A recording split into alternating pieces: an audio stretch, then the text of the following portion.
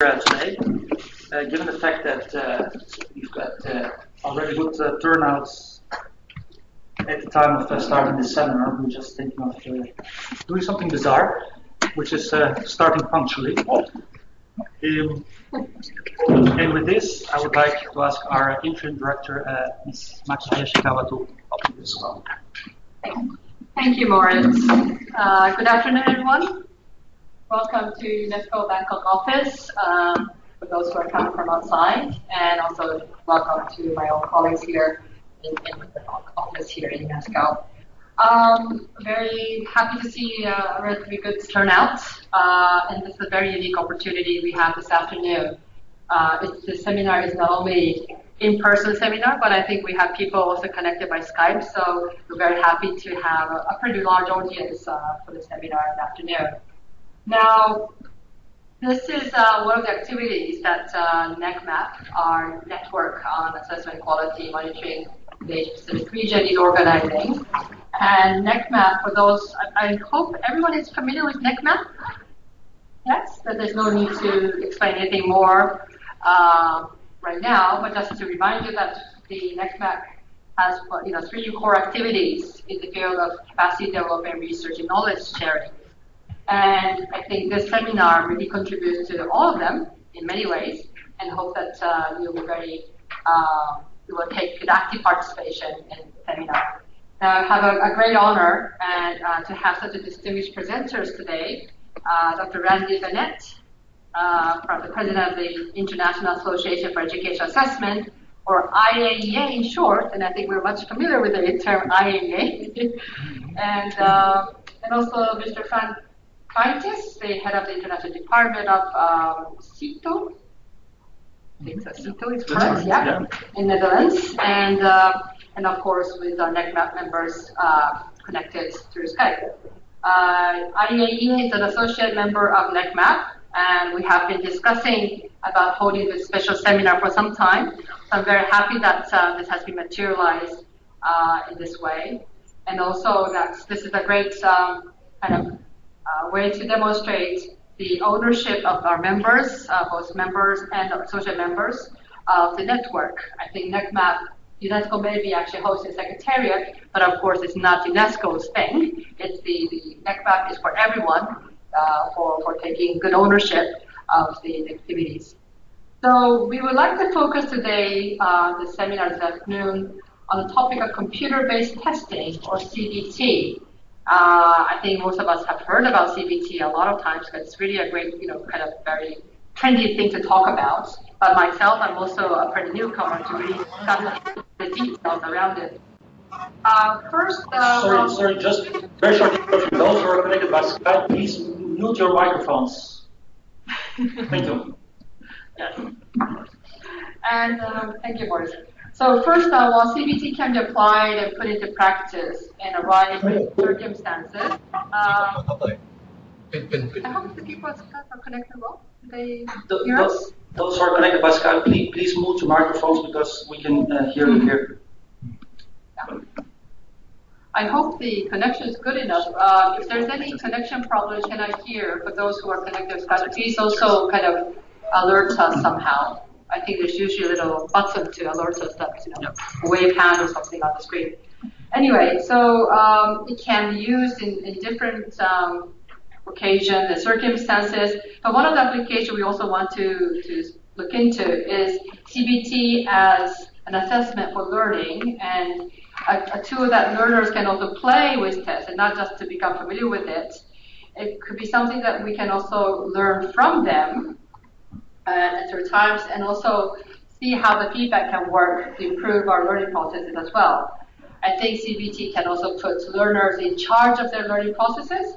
So the word maybe tests might frighten some people, yeah. but hopefully CBT is not just about kind of being assessed by some computer program, but hopefully it will be uh, a tool that can encourage and stimulate proactive, self-directing learning at the same time. So maybe one day we have to consider what the name should be, actually. uh, the word test often frightens a lot of people, even if it's not only about you know, making any judgment as such. So I'm afraid I personally cannot stay very long. I'm sorry, I have, um, I'm currently wearing two hats. I kind of failed to introduce myself properly at the beginning, but uh, I'm here to represent as the officer in charge for UNESCO Bangkok, but I also wear another hat called the Section Chief for Inclusive Quality Education, where this NEQMAP um, secretary is hosted, and also where Moritz is uh, now leading the quality education team under the section. So I think it would be um, uh, more justifiable to ask Moritz to give uh, the technical details on the seminar and also to uh, bring you, take you through the, the brief agenda and then have the event, uh, agenda to take, uh, to, start off. So thank you once again for participation. I hope you enjoyed the seminar and also look forward to hearing a lot of your good feedbacks so that we can also um, see other opportunities for other opportunities to have similar kind of seminar in the coming year. Thank you very much. So to you, Moritz. Thank you. Thank you very much, uh, for this welcome uh, notes.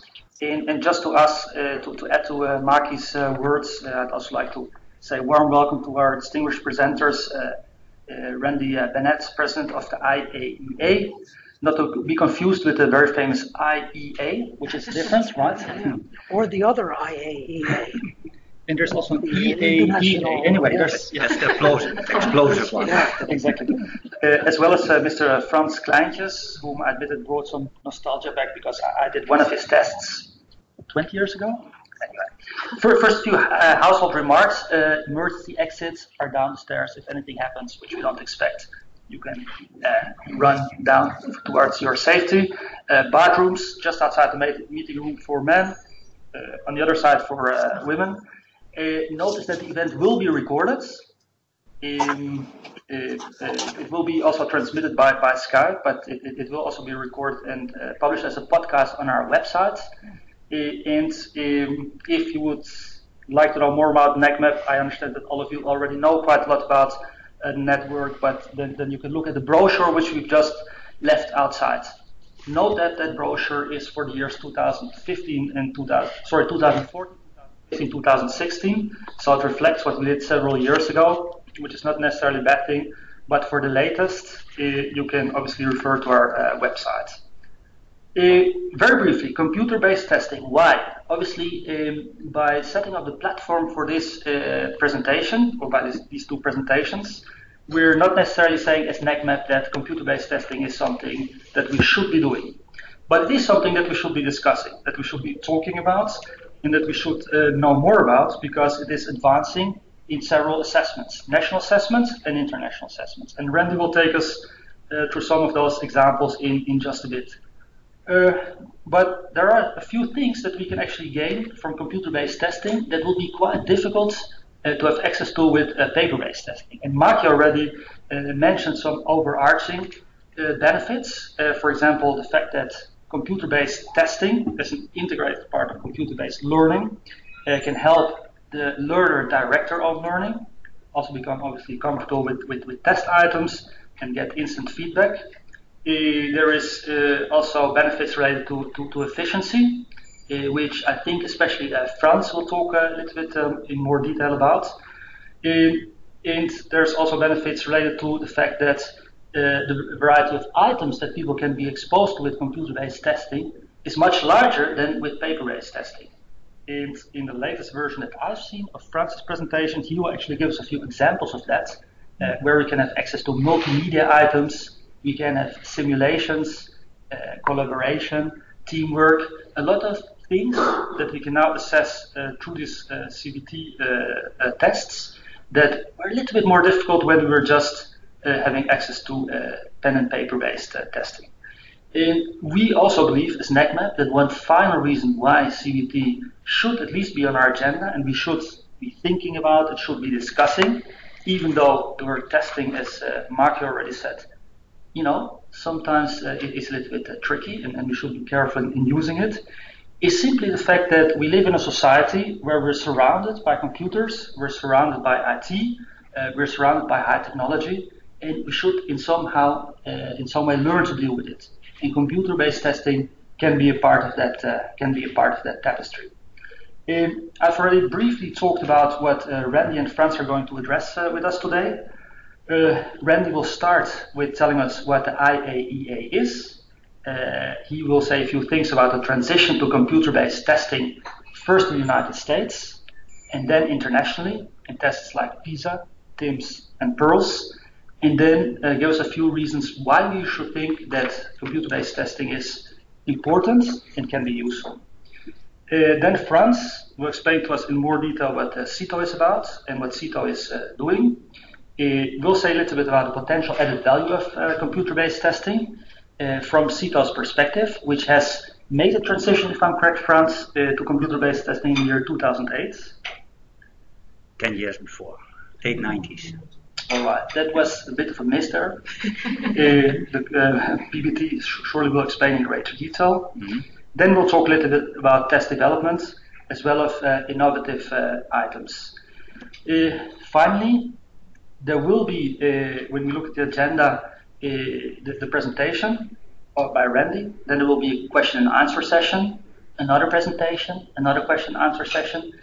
And when you look at the time allotted to the question and answer session, you can see that we allot as much time to that as to the presentation. Why? Because we want this to be an interactive event. Uh, our colleagues uh, Lindsay, um, uh, Nan, Nan, she's sitting outside at the moment, Uh, will be circulating with, uh, with uh, wireless microphones to ask you for questions, eh, to make this into a debate. The persons who are participating by Skype are also very much eh, requested to participate in this debate. Uh, our colleague Nadia, who was, by the way, a very important pillar in organizing this event, is monitoring together with Lindsay over there uh, the Skype connection. Any questions coming through at the question and answer session, she will let us know what they are uh, so that we can have this uh, discussion. Uh, with this, I invite Dr. Randy Bennett to commence his presentation. Thank you very much. It's really a pleasure to be here uh, with you. And uh, my thanks to uh, NEQMAP and UNESCO for allowing us this opportunity. As uh, Moritz said, I'm going to talk about uh, computer-based testing around the world.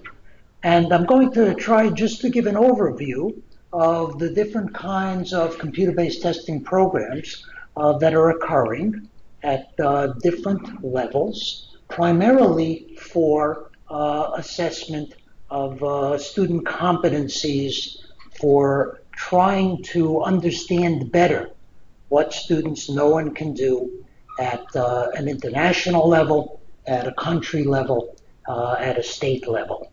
I'm not going to talk about uh, uh, uses of computer-based assessment for more formative classroom assessment-oriented purposes.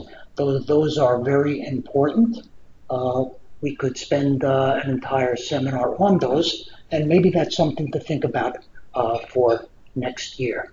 But what I'll do today uh, is pretty much talk about two things. I'll give a very short introduction to IAEA so you understand what that is. And then I'll spend uh, my 15 or 20 minutes giving a brief tour of computer-based testing around the world uh, for the uh, purposes that I just uh, mentioned. So what is IAEA?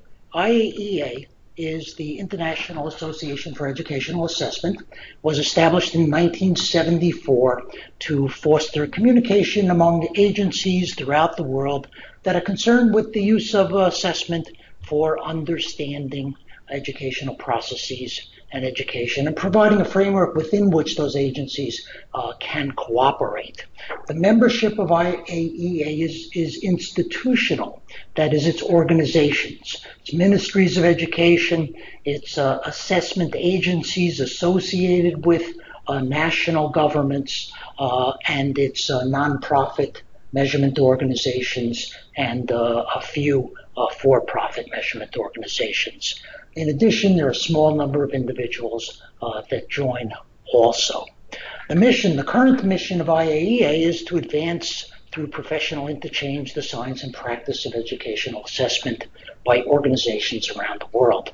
IAEA is a UNESCO NEQMAP associate member, and we're an associate member because uh, we're located outside the region, though we do have IAEA members uh, that are inside the region. So now moving on to computer-based testing. IAEA members are among the leading organizations in the field of computer-based testing, uh, some of them running uh, quite large computer-based testing programs and contributing to the transition of paper testing programs uh, to computer. I'm going to talk about three types of uh, assessment programs, and IAEA members are involved in each of these uh, types as uh, either the uh, overseeing agency or one of the contractors that helps to implement these assessment programs. So I'll talk about state testing programs in the United States, including uh, two groups of states called consortia. One is the Smarter Balanced Assessment Consortium. The other is the Partnership for Assessment of Readiness for College and Careers. I'll talk about national testing programs, uh, the U.S. National Assessment of Educational Progress and the Australian NAPLAN online program, and then I'll say a few words about the international testing programs. So we'll start with the uh, state testing programs in the U.S. Smarter Balanced uh, is a consortium of 14 uh, U.S. states and jurisdictions. It was funded in 2010 by the U.S. Education Department with an allocation of $180 million.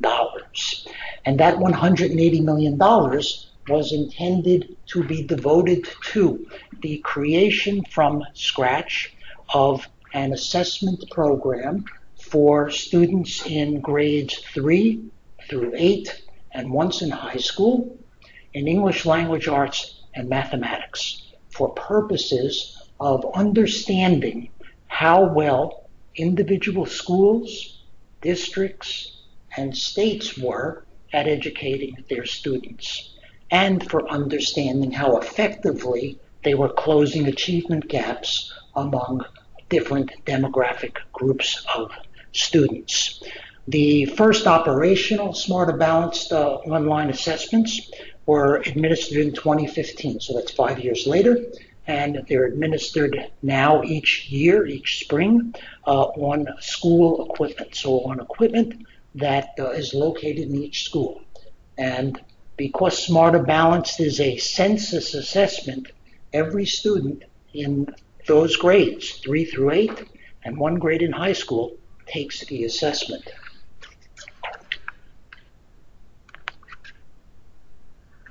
This is a press release from one of the Smarter Balanced states. It's from the, the biggest state, it's the biggest state in the United States, and it's the biggest state in Smarter Balanced, California. Uh, California has about 30 million uh, people uh, in, in the state, uh, so it's uh, larger than, than many countries. Uh, and what's interesting about California is it's a demonstration, I think, of the fact that online testing can be done at very large scale. Uh, this news release is dated September 27, 2017, and it's titled State Schools Chief Tom Torlakson announces results of California Assessment of Student Progress and Performance online tests. California testing went smoothly for 3.2 million total students. On a single day, May 9, 2017, nearly half a million students took the online tests, the largest single day of such assessments ever. So uh, it's uh, interesting simply from the perspective of scale. The second main consortium, that is groups of states that are undertaking uh, computer-based assessment and doing it uh, as a group for purposes of, of, gaining efficiencies of scale is called PARCC, uh, the uh, Partnership for Assessment of Readiness for College and Careers. Uh, it's a consortium of now seven states and jurisdictions. It was funded in 2010 uh, also by the U.S. Education Department with another $180 million. So that's in total $360 million going to create these two large assessment programs. Again, uh, it went operational in 2015, delivering on school equipment. So now let's move to national assessment programs so you can get a sense of what is happening in some of those uh, programs. Uh, this is uh, a picture of students taking the National Assessment of Educational Progress in uh, the United States. And uh, you'll notice that uh, every student in this classroom, this is the library or school library, is using a, a tablet computer with a detachable keyboard. NAEP is not a census. NAEP is a sample survey. So uh, at, it, it samples, uh, like PISA, uh, a subset, in fact, a small subset of the schools in the United States, but does it uh, in a probability sampling fashion. And within each of those sample schools, it samples a small number of students. Uh, is delivered on NAEP equipment. So an administrator brings to the school the 30 or so computers you see here in a what's called a Pelican case. It's like a large suitcase. And every student who takes the National Assessment of Educational Progress in the United States takes it on the same exact machine. So there is no difference from one student to the next in the type of computer or the way that the software is running or displaying uh, uh, for any individual. It's not the case for PARCC and Smarter Balance, which are delivering on school computers that may be different from one student to the next within a school, or from one school to the next, or one district to the next, or one state to the next.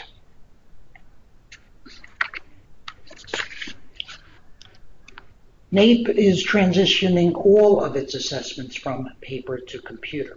The research to uh, transition NAEP began in 2001. So that's uh, 18 uh, years or so ago, 17 or 18 years or so ago. And the main reading and uh, mathematics assessments, the operational ones, just began uh, to be delivered by computer. So that's some 18 or so years later. NAEP's transition was very gradual. It began with that research. Uh, several years later, uh, began administering small uh, operational assessments on computer, and it's only in 2017 that the mainline uh, administrations uh, went online. The reading and math uh, assessments uh, given online last year to about 150,000 students throughout the United States on these NAEP tablets being brought into schools. And then uh, the uh, writing assessment to about 20,000 students on the NAEP tablets. NAEP was administered online in grades 4 and grade 8. All of the NAEP assessments are intended to be uh, online by uh, next year.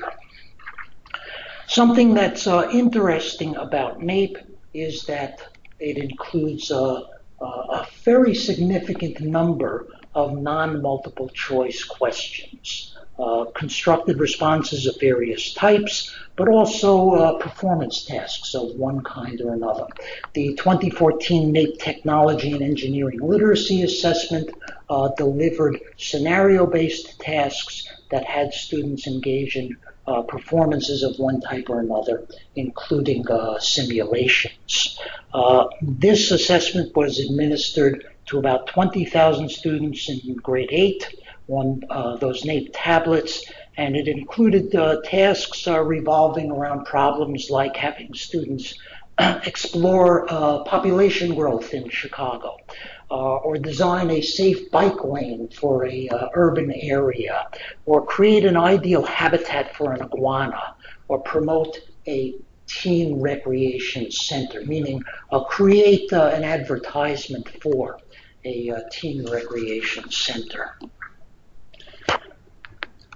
The Australian uh, National Assessment Program is moving its assessment to computer from paper in years three, five, seven, and nine. And that uh, transition is beginning this year in 2018 with the online literacy and numeracy assessments. And what uh, is very interesting to me about NAPLAN is that it's the only uh, significant assessment that I know of that is being administered not only on school equipment but also on personally approved student uh, I mean approved student devices or approved personal devices. Uh, that's a very unusual development and it'll be interesting to see uh, how that proceeds. Now moving to the international assessments. Uh, PISA uh, which uh, I believe you must all be uh, familiar with, the Program for International Student Assessment, was given in 2015 in 90 language versions on school equipment to about 400,000 students, 15 year olds in 57 or so countries or economies in reading, math, science, problem solving, and financial literacy.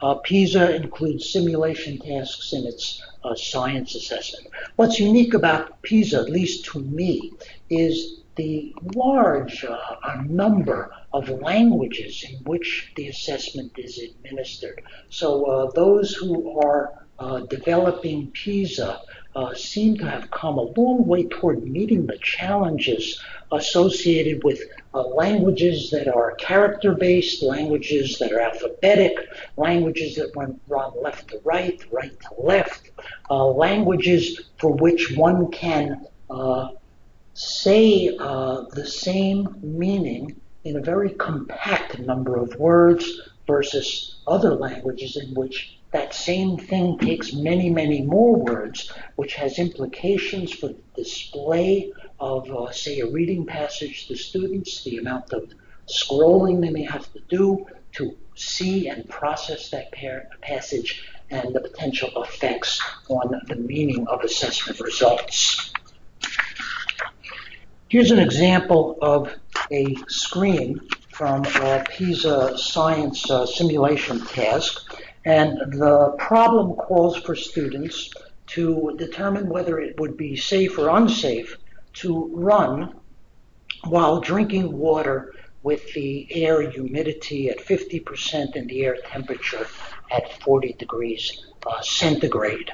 And to answer the problem, the students run a simulation, and the simulation allows them to manipulate three variables air temperature, air humidity, and whether or not the runner is drinking water.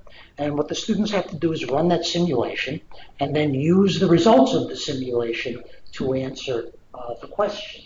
And uh, the first part of the question is, is it safe or unsafe?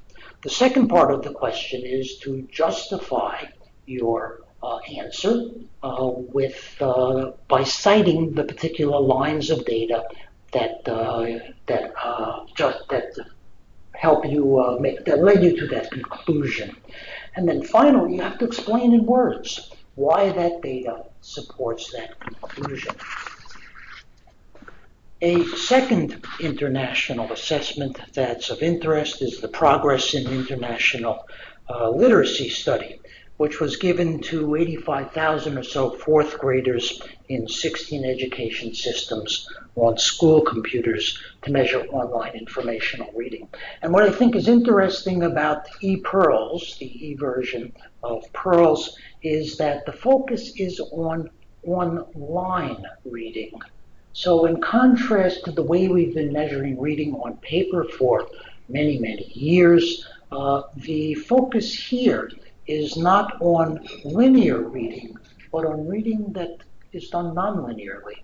So if you look at this screen from ePIRLS, which is uh, sort of to the right of uh, this display, uh, you can see, or maybe you can't see because it's so small, uh, that there are hyperlinks in the text, that there are tabs that allow you to visit different web pages, and go through the uh, text in, a, in the way that you would uh, as you uh, might if you were uh, reading off of uh, the internet in a non-linear fashion.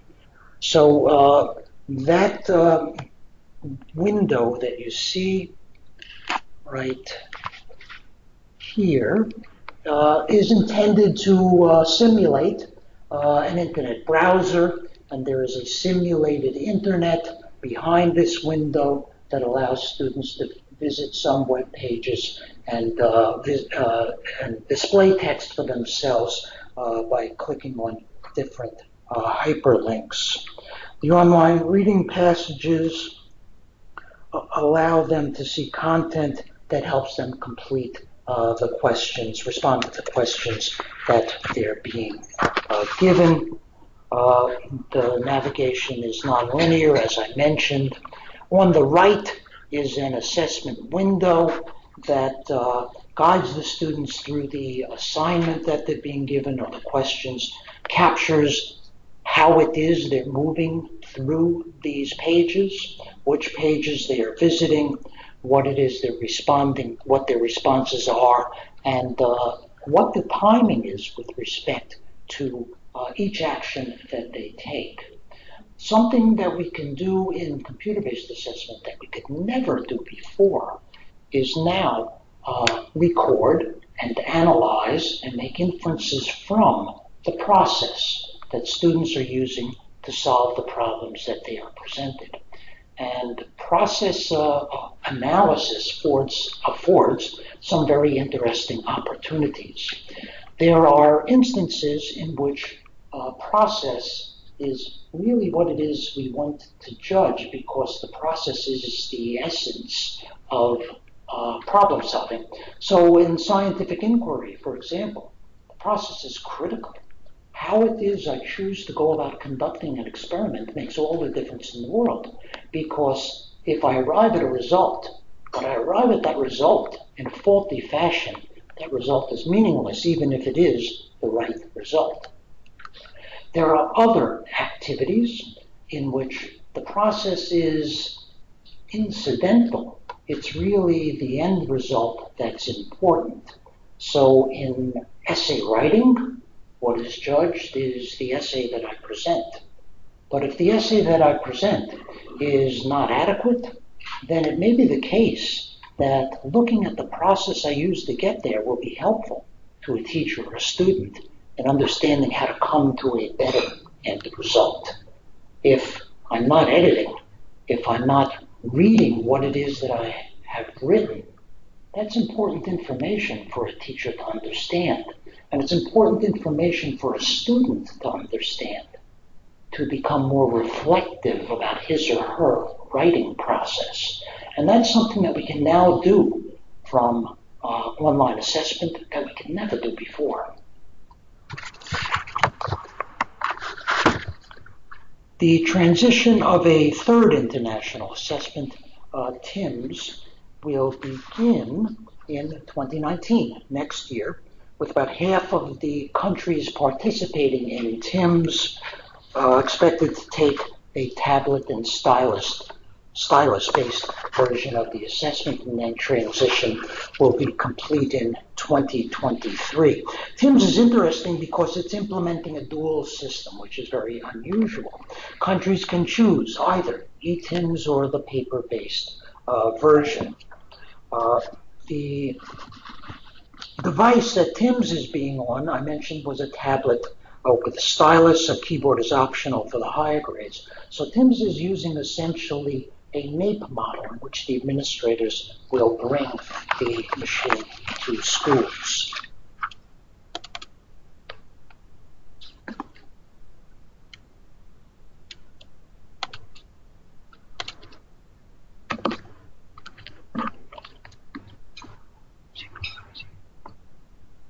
So the last things that I'll say are why?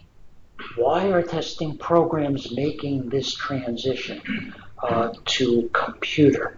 And I think that there are multiple reasons that include measuring existing competencies more effectively and efficiently, or at least the hope that that can be done the hope that we can measure new competencies that we couldn't measure before, like reading online in a nonlinear fashion, or writing on computer, which people have to do in many occupations today and in many uh, uh, fields of study in higher education. And like measuring with uh, delivery and response methods that are similar to the ones that are used uh, certainly in employment settings or many employment settings and uh, in many of the learning activities that students are either beginning to do or have been doing, depending upon uh, their location in the world. So to summarize, computer-based testing has come or is coming to international assessments like PISA, PIRLS, and TIMSS. It's coming to national assessments like uh, the U.S. National Assessment of Educational Progress and the Australian NAPLAN. It's coming to state assessments uh, like the Smarter Balanced uh, Consortium, the PARCC Consortium, uh, and individual states that I didn't talk about, uh, like Utah and Virginia. Some testing programs have brought computers to schools like NAEP. Some have used school machines like Smarter Balanced and PARCC. Some have done a combination of the two, and some have even included students' personal equipment like NAPLAN. Early adopters took considerable time to reach full implementation. Uh, the state of Virginia began its transition in 2000, and it wasn't until 2010 that uh, virtually all students in the state were taking uh, assessments on computer. NAEP took even longer. Later adopters have taken considerably less time. So Smarter Balanced and PARCC, for example, took just under uh, five years to make the transition, but recognized that they had very significant resources in the form of those very large uh, grants of money with which to make that transition happen in a rapid fashion. The adopters of computer-based testing have succeeded in part because they planned to fail. They planned to fail early, often, small, and gracefully. That is, they did lots and lots of small pilots and experiments that allowed them to gradually understand how to deliver tests on computer in an effective and efficient manner. So I'll stop right there and uh, we can take or discuss any uh, issues or questions that you wish. Thank you very much.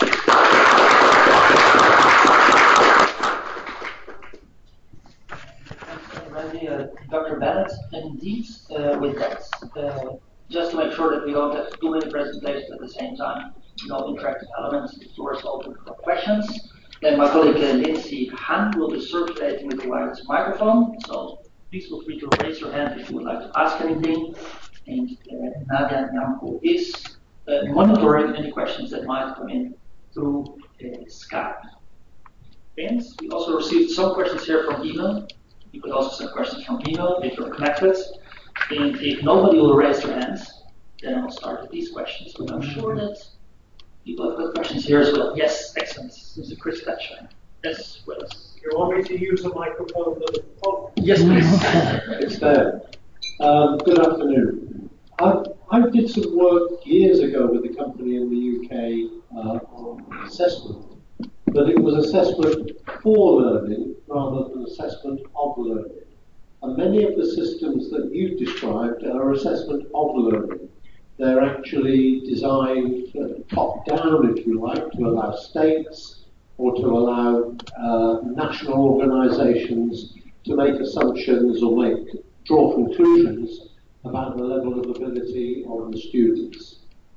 I'm more concerned actually with the, the power that technology has to influence and design, if you like, almost a curriculum at an individual level so a student can move through at whatever rate is appropriate to their development uh, rather than being determined by some um, almost some organization in the cloud that says this is what you should be doing and this is where you should be. I'd appreciate your comments on that. Well, I think both are important. In fact, I think both are critical, and one can't really exist very well without the other. Uh, we need assessments of learning if we're going to understand uh, whether education systems are functioning effectively, uh, including systems at the school and classroom level. Uh, in the U.S., it, there was a long period of time in which we had no idea uh, whether individual schools were effectively serving all students in those schools. Uh, there were many cases in which schools in very good neighborhoods had, on average, very high achievement. But when we finally started looking at the achievement of demographic groups within those very good schools, it turned out that some of those very good schools weren't doing such a very good job with students from minority groups or students who had disabilities or students who were English learners. So assessment of learning serves a very, very important purpose, at least for us. Now, I agree with you uh, 100% that assessment for learning is equally important. And I think there are some very innovative ways that we can facilitate that goal within, through uh, assessment uh, that is electronic in nature or being delivered online. And one of those ways is through the process analysis uh, that I was describing. We're doing a lot of work uh, at ETS in the analysis of students' writing processes because we're trying to understand uh, how it is that students who are not writing effectively uh, go about uh, producing their writing.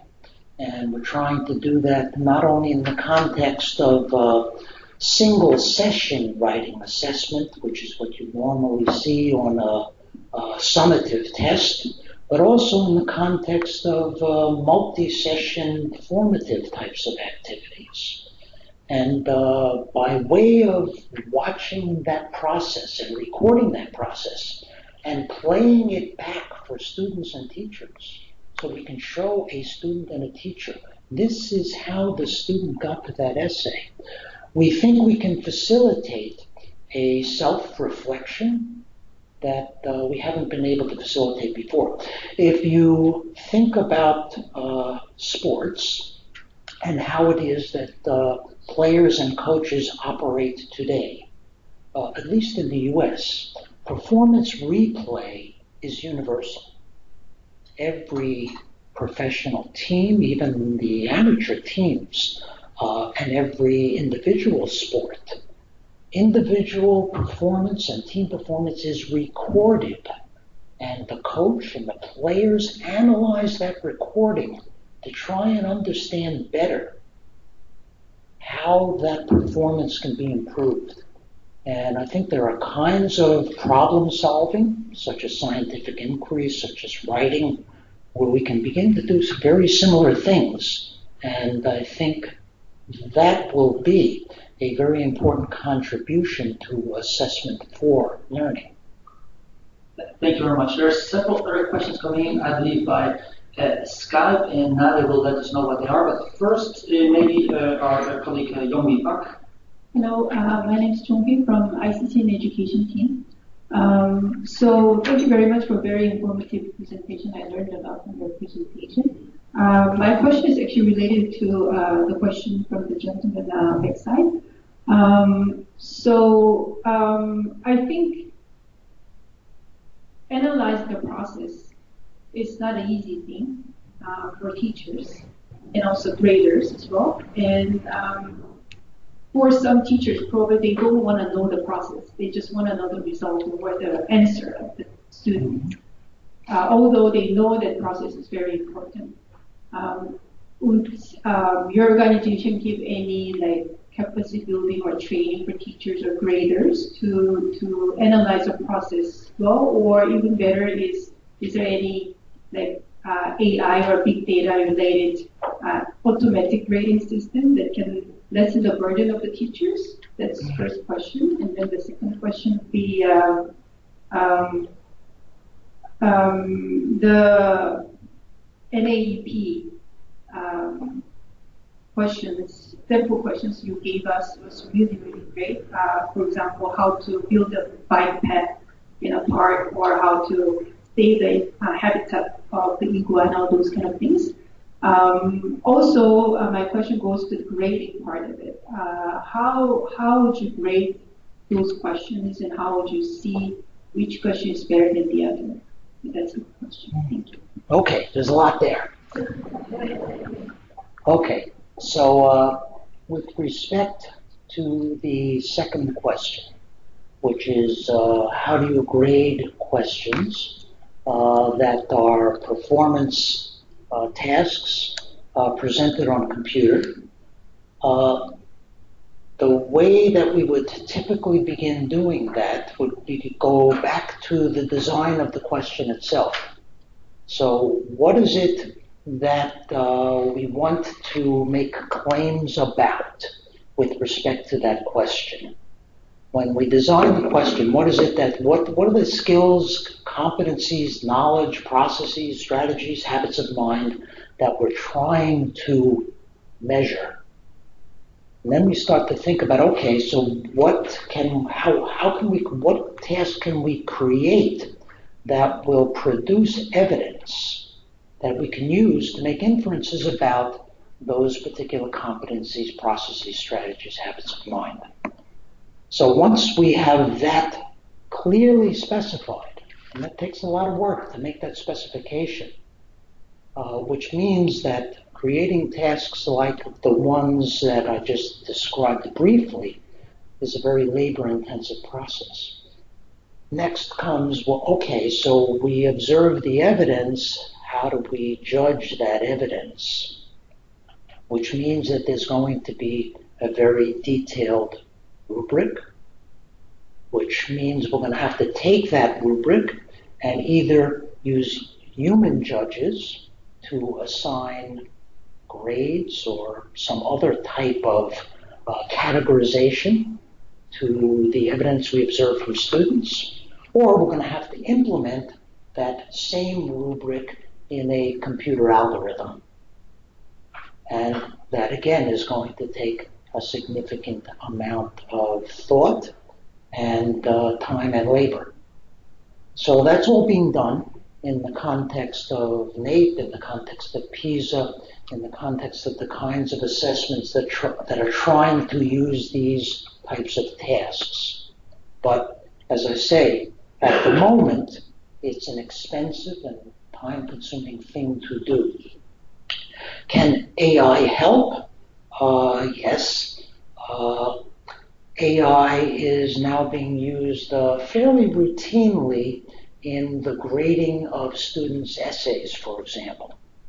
And uh, it does a, a not bad job. And it does a not bad job in the following sense.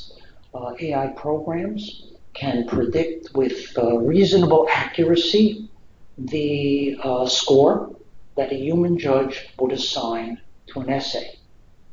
But the way that the AI program does that is not the way that a, that a trained uh, careful human judge would do it.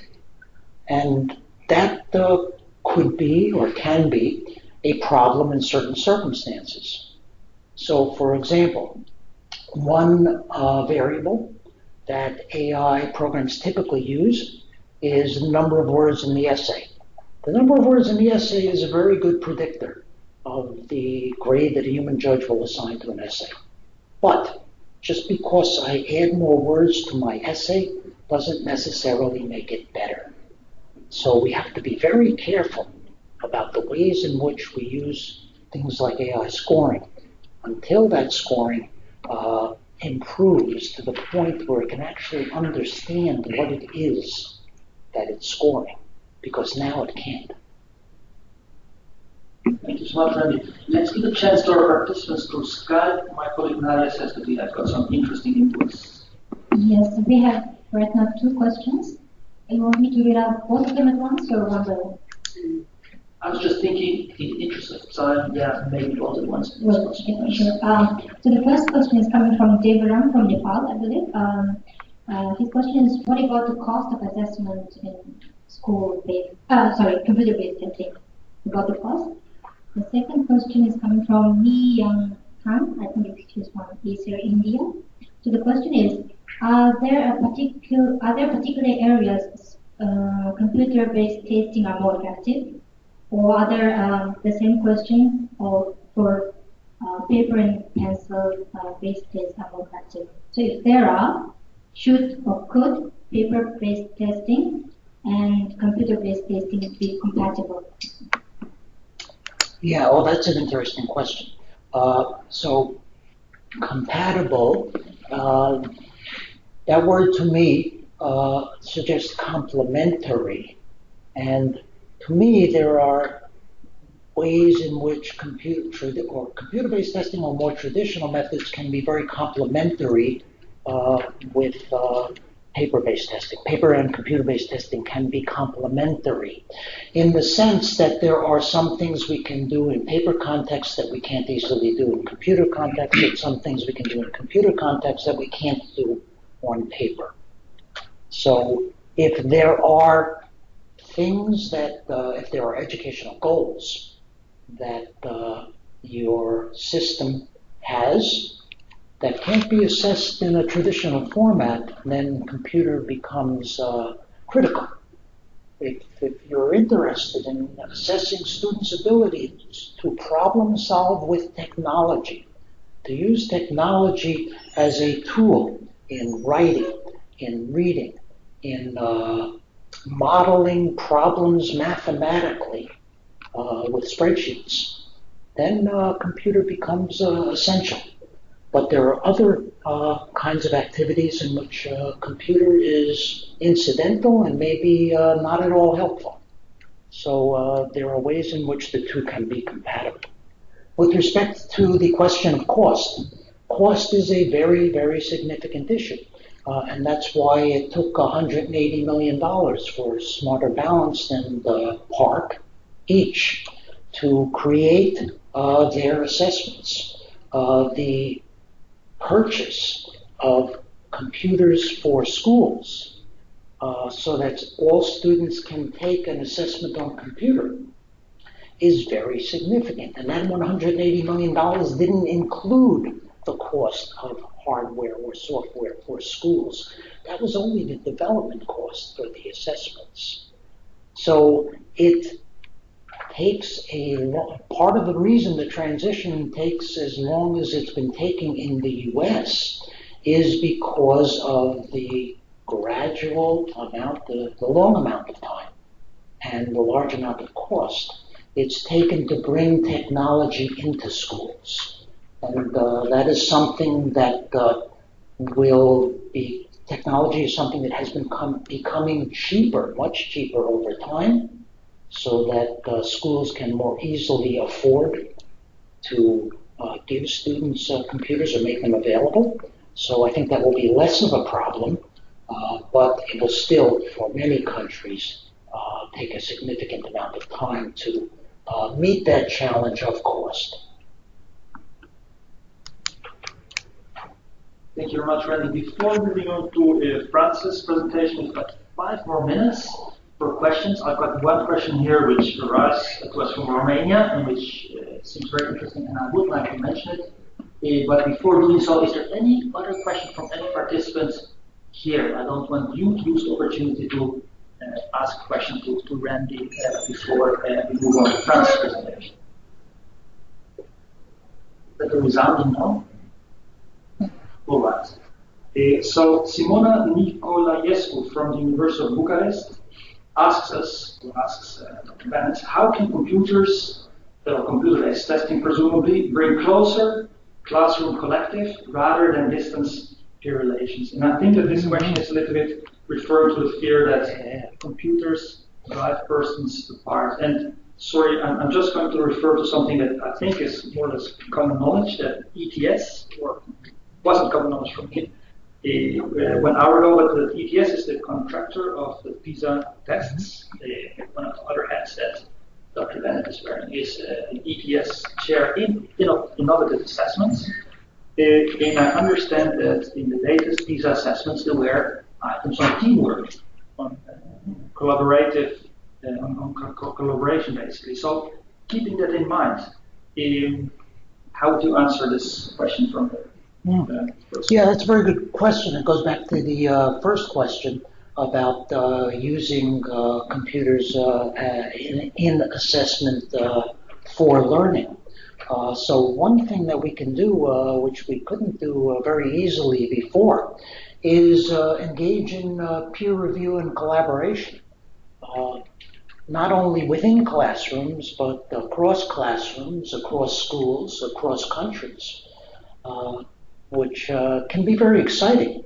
We can have students uh, uh, write essays responding to a uh, common uh, problem and have uh, peers in other schools, in other countries, or also learning the same language, learning to write in the same language, give feedback and begin to interact with one another in ways that we couldn't ever do uh, with uh, our uh, current technologies.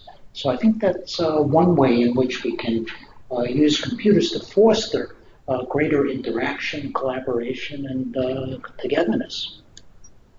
That's a fantastic answer. We're uh, scarcely uh, punctual today. Uh, we're planning to, uh, close this question and answer session at 3 o'clock. we're actually three minutes short of 3 o'clock.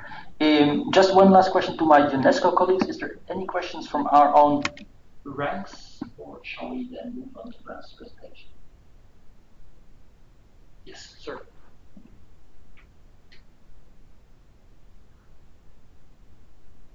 Thank you.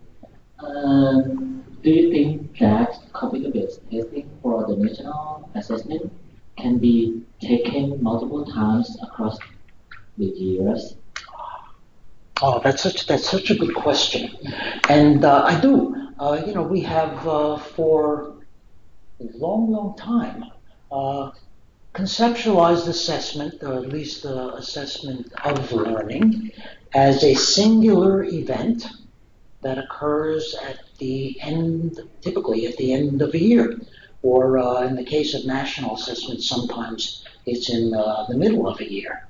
But there is no reason why instead of giving an assessment, uh, a long assessment at the end of uh, a year, there's no reason why we couldn't give shorter problem solving episodes at various times during the year. Uh, and then accumulate the results across the year to try and make uh, inferences about what it is that students know and can do. And uh, perhaps if we can distribute uh, assessment more over time, uh, we can serve assessment functions that are both of learning and for learning more effectively. Thank you so much, Randy. That, that was fantastic. Uh, true. Uh, sorry, one more question.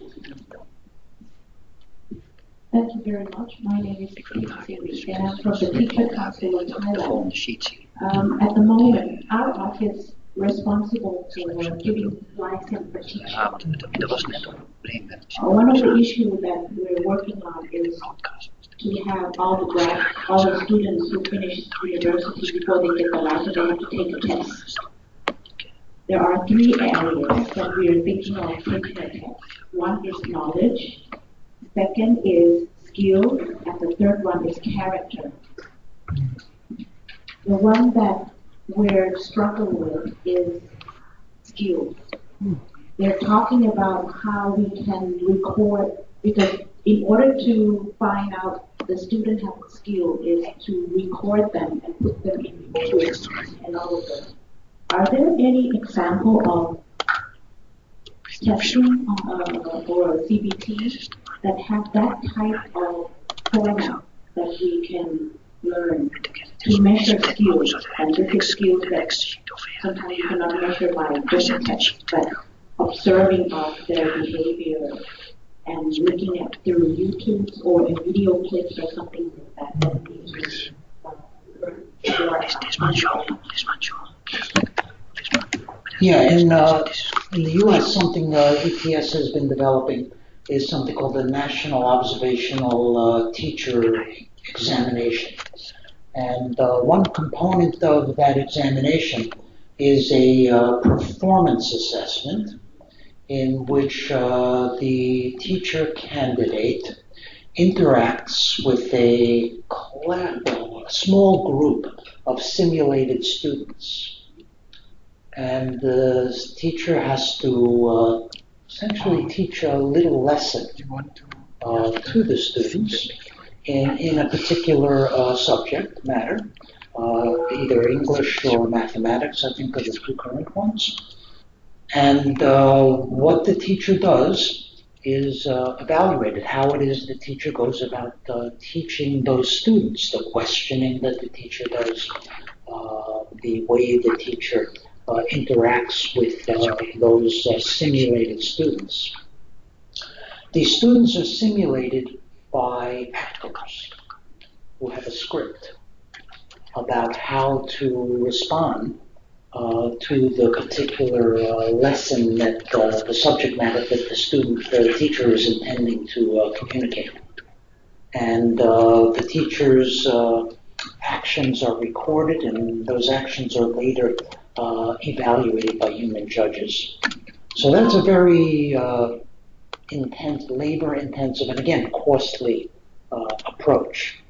Uh, but that, that's one way to try and understand better uh, the skills aspect of teaching. Something that I think is very important i- with respect to trying to understand the skills aspect of a teacher is not to separate the skills from the subject matter that the teacher is intending to teach. They go together in a very intimate fashion. And trying to separate them too much, I think, uh, uh, can create uh, difficulties. Excellent. With that, if there are no more questions, um, thank you very much, Randy. Welcome. It's a pleasure. Uh, you will stay here with us because in the final Q&A, we may again refer back to you. But for now, uh, the floor is uh, Frans's. Good afternoon, or good morning, or good after, or, or good evening. I don't know where you are all listening to this um, uh, broadcast. It's very exciting for us. Uh, you, jo- you saw us just hustle a little bit because we are struggling with the broadcast in the sense of I have a full screen in front of me. Uh, so the next sheet is not only a surprise to you, but also to me. So please bear with me a little bit. Uh, and after one hour of intensive listening, um, I will try to um, tell you something where, where I'm from. Um, I'm from CITO, the Dutch Educational, uh, Dutch Institute for Educational Measurement, and we are based in the Netherlands. And the Netherlands is a very small country. Um, we have uh, our institute. Um, if you if you can just watch the map of um, of Holland, near to the east to the east to the German border, and um, we were founded in 1968, privatized in 1999. And what is our connection with EIR? It is that we are a founding member of EIR. Uh, currently, we employ about 500 professionals, of which 35 in psychometrics. So, being founded in 1968, all of the, let's say, the assessment expertise has been going into, let's say, mainly one institute, and that makes us quite different from other institutes. So we are, we look very much like ETS, but we, we're smaller. Uh, but everything in Europe, of course, is a little bit smaller than in the US, so that doesn't that doesn't matter to us. Um, the nice thing is that we can have a critical mass of, let's say, expertise around. And over here you see uh, the building that we uh, moved into in 2000, about seven years ago. Oh, I think the, it's going. Yeah, I'm watching the, the, the, broadcast because I saw there was some dysynchronization in the previous uh, show. So I try to learn from that.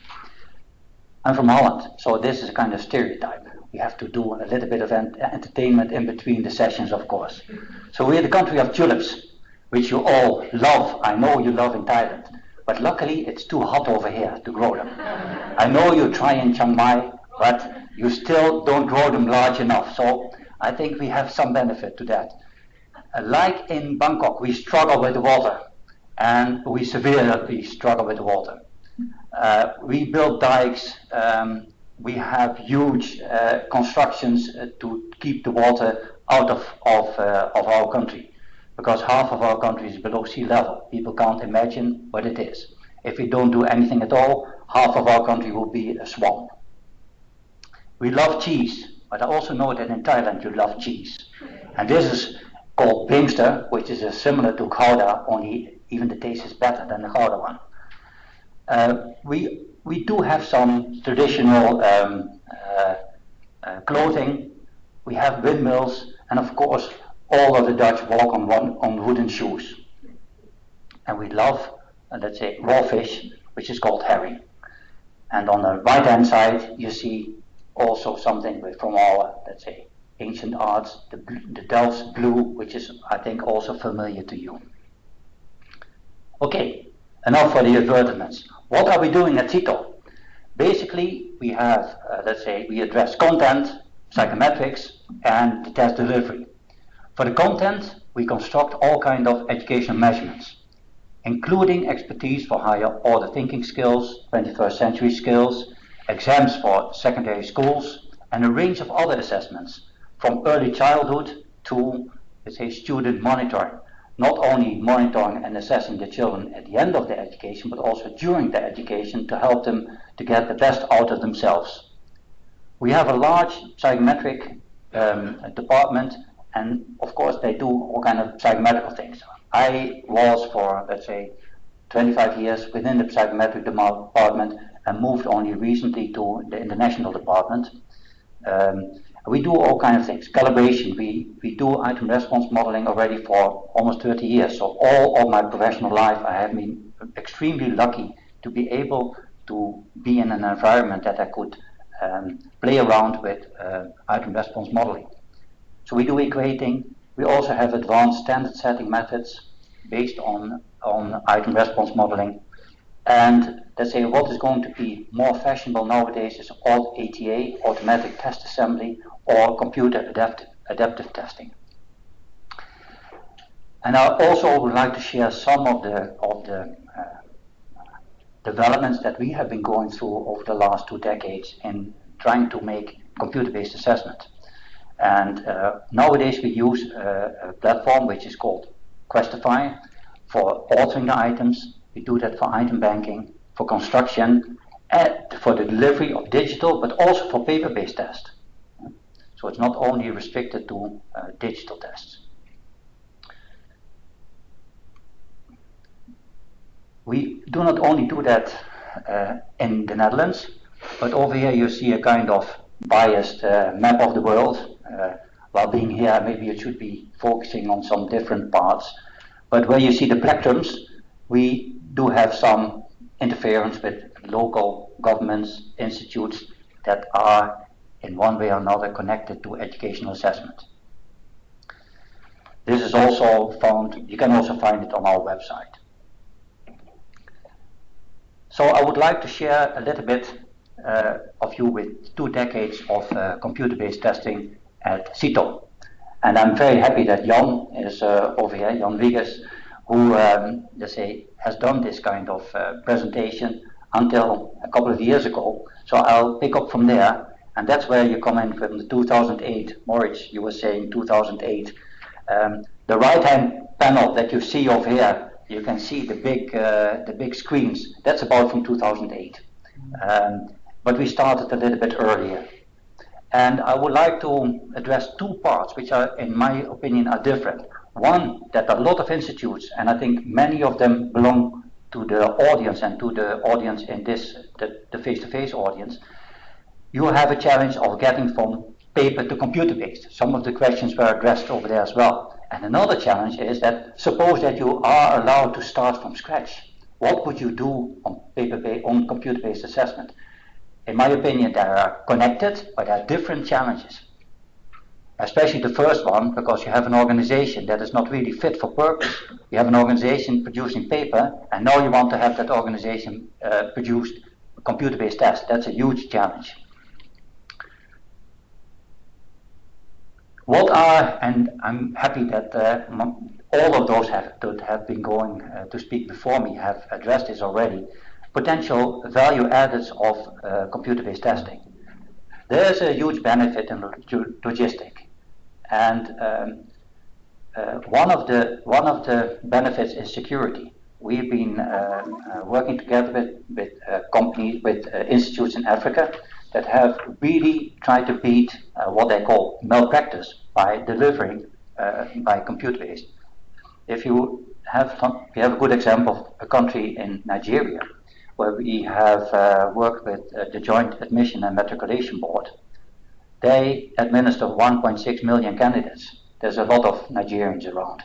Um, and uh, getting paper-based tests to them takes sometimes a couple of days in a truck uh, supported by armed forces to deliver the test on the place. And you can imagine that you have there huge benefits from uh, uh, computer-based delivery. You have other threats again but you replace them, you can control them. Um, you have the, the challenge of being online marketing, whether that is in, let's say, what I call an Anglo-Saxon system or direct marketing from the computer, etc. You also have the benefits of technically advanced items um, with some um, with some drawback, because you can also say it's not only the technology that should benefit, it should also be fit for purpose. Come back to that later. And you have the, the, the value of, of online adaptive testing. So you can adapt the test to the ability level of the person that you are testing. And whether that is for off learning or for for learning isn't really, uh, let's say, essential. It is that you have a technology that, that might uh, address that kind of problem. On the right hand side, you see a curve. Um, I took that from my colleague Mark from um, uh, uh, Open Assessment Technologies. Um, this is uh, something like if you have new technology, everybody gets, gets excited. And then you get a, a peak of inflated expectations. So over time, you get frustrated. You go through the, the, the valley of, um, of uh, for disillusionment and then you go into the, let's say, a normal product of uh, uh, plateau of productivity.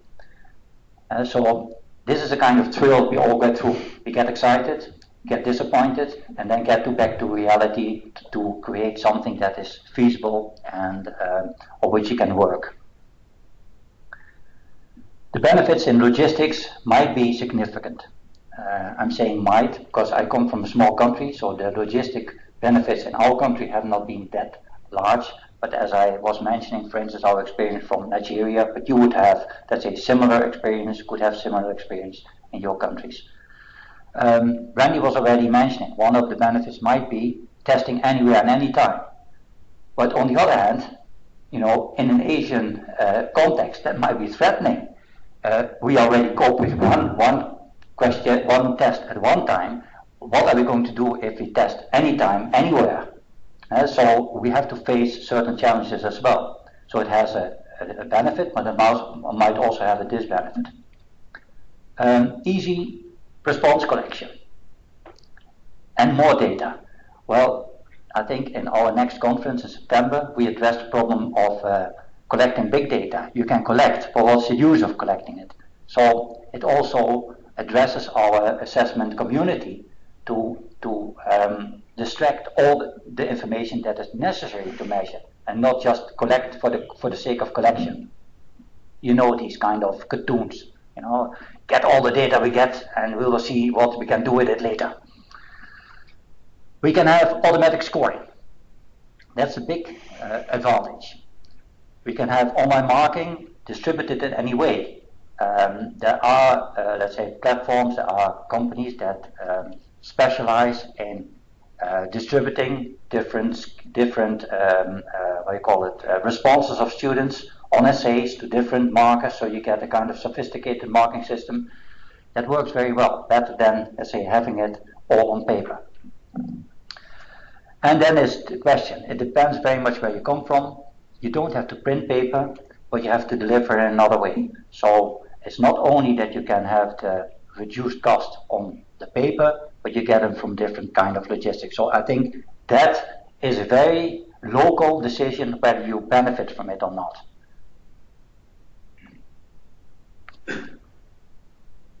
Going back to, let's say, you need some condition for digitation. You, you cannot have digital tests anywhere, anywhere, anywhere, anyhow. There must be, let's say, it must be financially feasible. There were, there were a mentioning of cost. I think uh, producing um, digital tests are at a considerable cost. If you are compared to paper, you need a complete different infrastructure. It is more costly. So you can gain some in logistics, but depends very much on uh, the local situation. It must be technical feasible. If I travel around in Africa and Asia and I see a lot of children just wandering about, not even go to school, and we talk about e-assessment, it's also a kind of disparity. So it must also be technical feasible.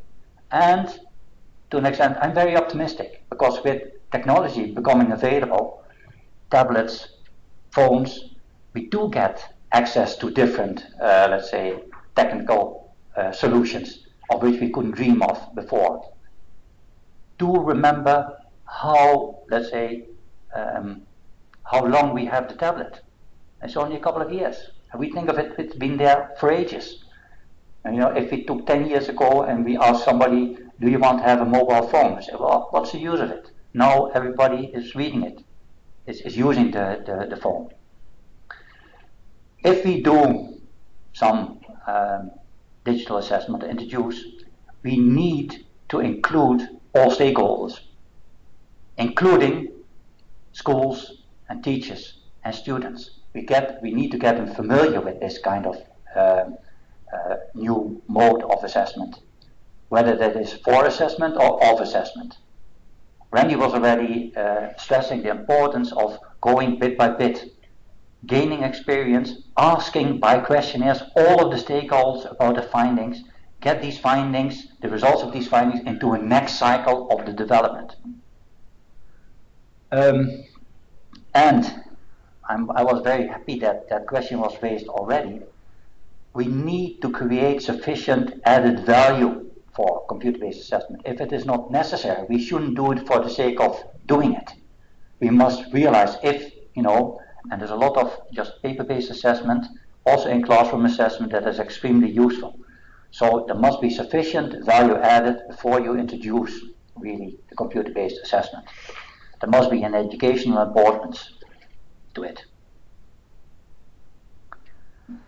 If we now go back to our, let's say, 20 years of experience, we started going digital by using the computer for paper-based uh, exams, administering them and administering them in a kind of environment, whether that be a kind of spreadsheet or a little database, getting into more sophisticated um, administration of the test. And um, I think I, Randy can agree with me. We initially thought, okay, what we do is we make a kind of integrated system from the very beginning until the delivery of the test. And we try to program that. What can that be so difficult on doing that? Everybody is doing that.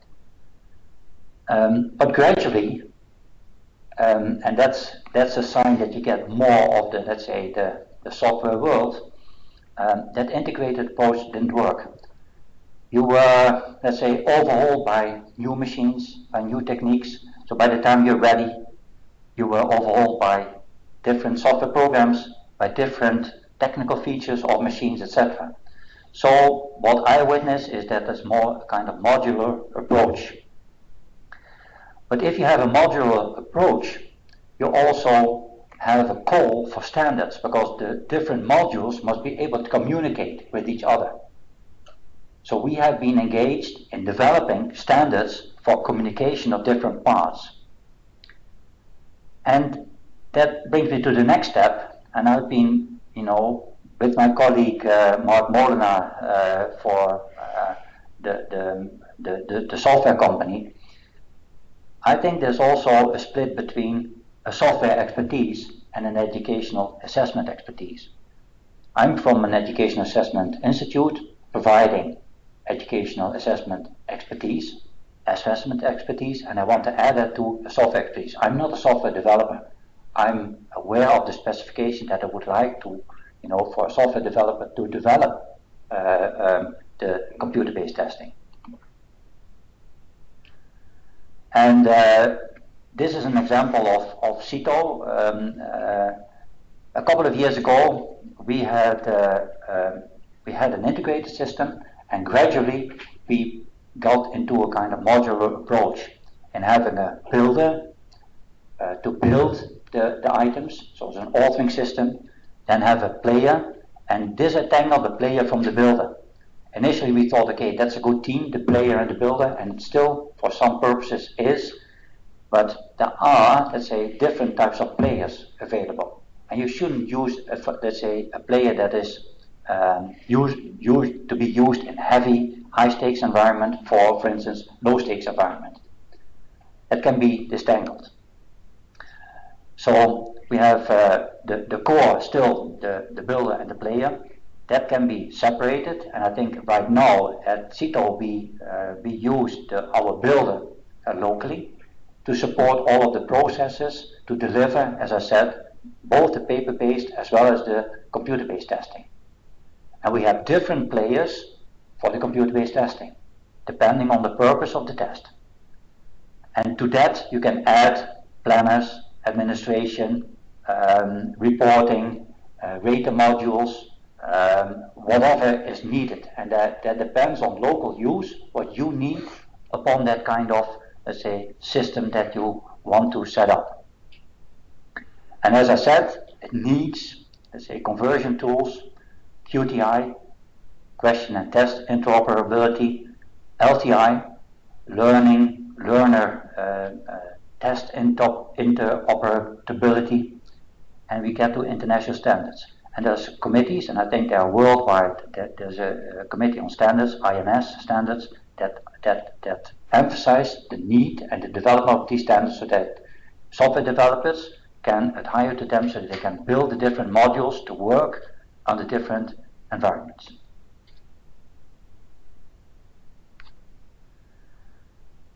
Now I'm going back. I'm a little bit at age, so I started off doing paper-based testing. And um, I think one of the key questions is, what is the quality of our test? And we have a relation between the, test, the, the, the steps of test development and the standards. We have all kind of standards from AERA, APA, NCME, whatever. So there are international standards that you would test the quality of your test you adhere. In Holland, we have a strict, even uh, a checklist, and that's called the COTAN, which is a committee for test for test uh, matters in Holland. They judge upon the quality of the test. So I'm going back to some basics. I'm going back to steps for effective test development. And they are from the Handbook of Test Development for Steven Downing and Thomas Haladyna. This is the first chapter, worthwhile reading. And um, my my allegation is that if you do develop a computer-based test, you also need to go through the different steps of development. Otherwise, we'll produce a test that is a nice test, and we forget the purpose of the test. So, for any test, be that a paper-based test or computer-based test, I think we have to go through an overall plan. We do the content definition, a test specification, we next go to item development, then we do a test design and assembly of the test, then we produce the test, we administer the test, we can have another loop, whether that is a tryout or a, a pre-test, it's a loop. We do the scoring of the test responses, we, we establish passing scores, we report, on, we report on the results, the whole bunch of it should be administered or can be administered in item banking, item banking to me not necessarily refers to an electronic item bank that has gone into it. But um, I'm still from the age that we have large cards on items. That's also an item bank. Uh, so it's in the in the widest sense of the word. Word. that we can do that more advanced, that's a good thing. And in the end, we need to account for what we have done in a test technical report. Now, if I move on to the, the, the, the, the, the modular approach, it means that basic to me are the steps in the test development. They should be supported on two ways, by a platform and also by assessment expertise. So ass assessment expertise from, let's say, uh, an, uh, an exam body, an, an, institute for educational assessment, and an assessment platform that should be done. It's an IT platform. It is a, a, a special profession. So from our point of view, we have started thinking that we could do it, and it become uh, not it becomes it becomes very um, it becomes a burden, so to speak. That means that we come to realize that we can add from our expect, uh, assessment expertise into, say, uh, an assessment platform, but you need professionals, IT, IT professionals, to do this kind of platforming. And I can stick to my uh, steps in the test development again. So, getting into a few more, a few less steps in, let's say, digital, and I put digital in between brackets because to me, you know, it's not referring to digital only. It can be paper-based as well. First of all, I develop, let's say, an overall plan. Well, if I go into digital, I call that the scope of my test. Then I go into item construction, test construction, I administer, register the candidates, delivery, do the scoring and reporting, do an analysis, and um, uh, go to see if I meet my scope again. And yes, item banking is at the core of my action. I keep my constructed items in a in a in a good way so that I can relate them to different to the different steps. And in the scope, I shouldn't forget that. Um, we need to get the target. We need to get the purpose. We need to identify the groups that it is meant for. And we need to get the level of security. And I'm telling you, this seems to be open door knowledge. And, and I'm also telling you, it isn't. We have to go back to step one all the, all the time. What's the purpose of the test? Do we address the right, the right group? Are we really meeting this kind of purpose? Or, or is the test being used for some other purpose? And how can we cope with that? And also, what kind of, what level of security do we need? So all the time we have to keep these kind of questions in mind. You see the dots. This is a, a kind of exist, um, expanding list all the time. And we start with the basic requirements and add to that during time. If we go to the item construction, and that's uh, where uh, Randy also um, already um, said something, compared to paper-based test, we have a richer uh, environment from which we can choose from. But again, it must fit, be fit for purpose. We cannot just use it because it's nice to use. It must be useful to use. Uh, it must fit the purpose. That means that we get all kind of different types, and and uh, you have seen some of them, and I will, um, let's say, show you a little bit more later on. One basic thing I've I've witnessed in my own environment is that if you go from paper-based to uh, digital testing, is that uh, people, if they're engaged in paper-based testing, they construct a test with items. If you go into something like digital testing, you must produce the items to build a test. test. That means that the requirements for metadata is much larger than in paper-based testing. If you have your item constructors, you have to re-educate them to, to, to make sure that they give you the metadata that you require for, uh, let's say, digital test taking. And the metadata are needed for something like automated test construction but also for computer adaptive testing. And um, I'm telling you, that's not an easy task of doing that. So I have to re-educate people that are doing that task for already years, and uh, they won't believe you initially. Once they get into, you know, uh, an environment where they have to produce uh, electronic or digital tests, they are convinced, and you just have to force them into getting the, metadata. The metadata. Um, this is an unreadable sheet, and I think, I hope that the source is readable. I'm not too sure whether the broadcast is as I see, and uh, again, this is a kind of um, taxonomy of item types, going from, let's say, the least uh, complex, most constrained on the left-hand side, top, a multiple choice, true, false, into something like a diagnostic testing item on the right-hand side. Um, we could go, we go, could go through, let's say, explaining you from all of the types uh, uh, and giving you some examples. I've decided, in view of time, uh, not to do so, so I skipped all of them, leaving some of the nicer bits in the end. So this is a, a, a source which is published, and uh, you you will get access to the sheet so you can um, get to the to the source. If we go to the test development cycle, I want to um, to go to the to the next step that you know after you have constructed the items do the test construction to tell you something a bit more about that. You have different ways of assembling the test. It can be linear, random, adaptive. Uh, one of the things that is very popular right now, I think, in view of uh, control, is multi-stage testing. I don't know whether you are using that or you've heard about that. Um, for all of them, you need um, test blueprint, all of the specifications. And that's where you have that, you know, important part from the purpose of the test. Because from the purpose of the test, you direct your specifications. Uh, so for the test construction, I need to fulfill all my um, uh, specifications. And nowadays, if, if I have a good specification, if I have my metadata at order, I can try to ask the expert to fit to fit uh, uh, all of the requirements into the computer to get the test delivered. But I also want, let's say, that to be automatically done from an item bank.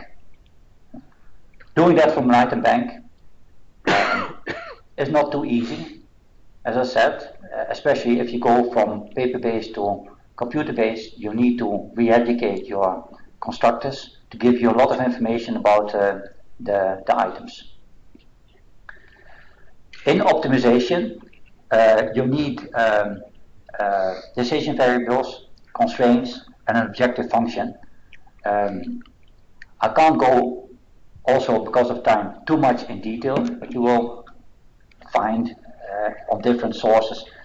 Um, you need to get which items can be selected, which requirements do you fulfill in automatic test assembly, and what are your preferences? Our experience, my experience is that you need specifications, specifications, specifications from your item developers to make sure that you deliver the right test. If you think about the constraints, you can think about the type, the test length, the item use, the graphics, depending on which player you have, you have constraints on that one. Um, you can think about psychometric constraints. Uh, do you have enough uh, data to get the difficulty of the item? Um, you need to fill certain reliability requirements depending on the purpose of your test, whether it's high stake or low stakes. Um, it's also expressed in measurement uh, precision. Um, there were some questions before this uh, seminar.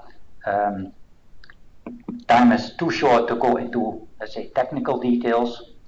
You need also uh, content, domains, uh, test blueprint ready.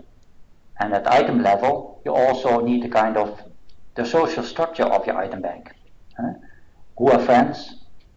Items that belong together, for instance, in the text, items together. Also enemy sets. If you ask twice the same, or if you give the answer away from one, one item to another, that should be excluded. So all that kind of stuff you need to administer well before you start automatic test assembly. In the Netherlands, we have uh, that automatic test assembly place in our central examinations, uh, but also, for instance, in the theoretical exams for driver's license. Uh, I understand that uh, it's more difficult to, to get your driver's license in Holland than in Thailand. So in, in Holland we have to do first of all a theoretical exam, and you have to pass that with, uh, uh, and the pass rate is the pass rate is very high. You, you need to get uh, a lot of I shouldn't say the pass rate, but the, um, you need to get a lot of questions correct before you pass. Um, and then you have to do a practical exam, but it's quite a thing to do the, the, the theoretical exam, exam. So nowadays we put automatic test assembly in place to get parallel um, theoretical exams. We do also um, Dutch as a second language. That's one of the exams that can be passed anywhere, anytime, and you need parallel sessions. Uh, we also apply it in in, uh, in our project in Kazakhstan, where we select, uh, where, we, where we support Nazarbayev intellectual schools in their selection test, and we need parallel versions of the of the selection test to make sure that we have the same demand, the same uh, test, the equivalent test over time. But we also um, do uh, automatic test assembly in projects that we run in, uh, in, in Switzerland and in Italy in Italy for Invalsi uh, uh, to produce, um, um, let's say, equivalent test uh, for different purposes over there. Going back to our test cycle, analysis and evaluation. Um, of course, we do classical test theory where, where possible because that's easy and even if you have a lot of different tests available then the, the, the basic characteristics developed from classical test theory are very usable, very, very useful to interpret. And as I said, we have a long tradition in using item response modeling. So I thought, okay, that, that's, that's known, that could be known to you. But what's new? Uh, recently, and that for the Switzerland project, we, we have developed an online calibration of digital tests. And that's something which is very interesting to me.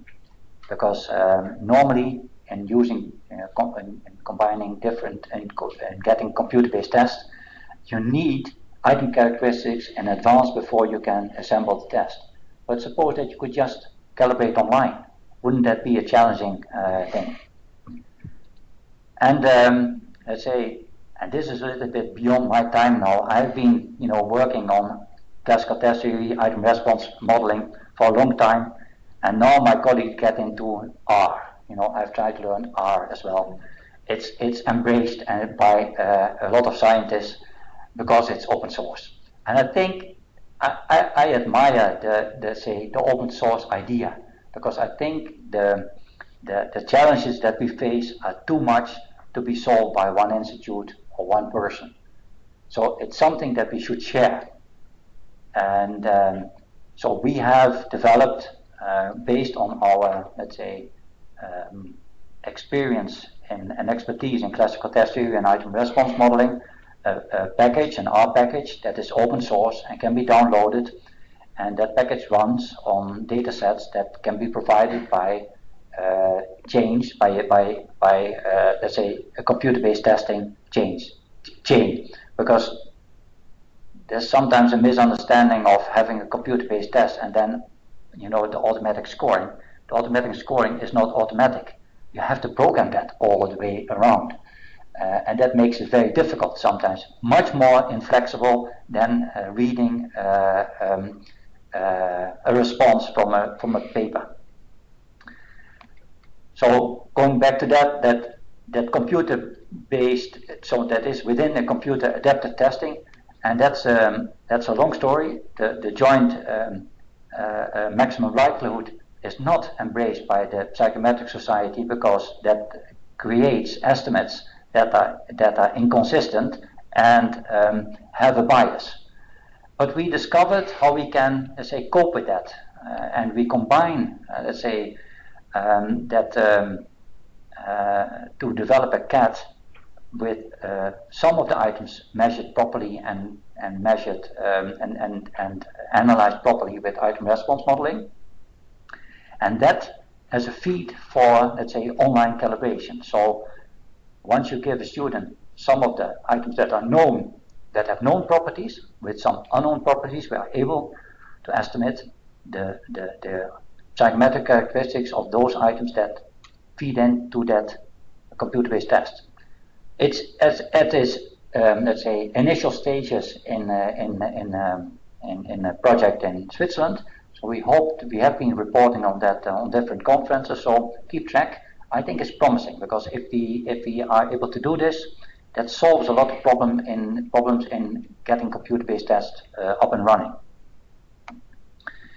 Going back to that um, uh, R package, which is baptized Dexter. Um, uh, it has a comprehensive system for management and analysis of test data. It, it runs on different um, uh, operating systems. Um, it runs from different scoring rules. It can be used in uh, the formats that are known to R. Um, and it has a large array of classical indices as well as uh, different uh, item response modeling um, characteristics. And it, it is amongst projects that are added to the R library. Uh, you can find it uh, in the cran.r-project.org uh, library. I have a few more minutes left, is it, uh, Moritz? Uh, uh, we can add something like 45 minutes, is that in order? Yeah, but, but that would be with the questions as well. Eh? So we have, uh, well, I will continue now. Is it okay? To be honest, we've got sufficient time. Yeah. Uh, I just want to share some recent, recent developments at CITO. Uh, one is on uh, diagnostic test on secondary school for 15 year old, and another one is on monitoring progress in primary school. And I'm, I'm sure that some of the questions that you have raised or thoughts that have been be, be uh, coming up to you because of the questions were raised um, are now being answered in, in the, the, type of things that I may show to you. Um, the experience on a diagnostic test for secondary school for 15 year old, and that's a, a Dutch government initiative uh, contracted to uh, well uh, contracted to the foundation, and it, it, it is about um, Dutch, English, and mathematics. So it, can ima imagine that's about the PISA age, eh? 15 year old. And the challenge was to provide a reliable diagnosis on all aspects of the student skills and test at a reasonable length. And reliable diagnosis and reasonable length are, of course, the challenges that you should, that we are facing. And this is one where we are, uh, were allowed to start off a, uh, a digital test from scratch. And one of the nice things is that, and going back to, let's say, my steps of development, because that's something we, we often forget, is that what are we measuring? What, we, what do we intend to measure? So we used an evidence-centered design approach, um, being advocated already since 1999, Randy, is it? Mislevy two decades ago, they started saying that it is important to get a fundament under our, let's say, purpose of the test. Um, so we can, we have started again using evidence-centered design to define a student model that allows us also to use new item types because they were different from the item types that we are used to. So if we are catch up in the process of getting from paper into digital, it's different than we say, okay, now you can start from scratch. And it also uses elements of uh, computer adaptive testing. The responses are scored automatically. And there's also some advanced scoring. So you can also, as a, as a developer, introduce different types of scoring. Now I must see if uh, I can do something. This is very, this is one of the questions. It's difficult. It's in Dutch, so don't don't make an attempt to read until you're uh, uh unless you're Dutch. Moritz, you can read it. it's just the idea of getting you to know. This is something an, an, a use of an equation editor within the question. Okay, so there's some question about a linear equation, uh, and a student has to do something. Now this is simulating the, no, you have to go back.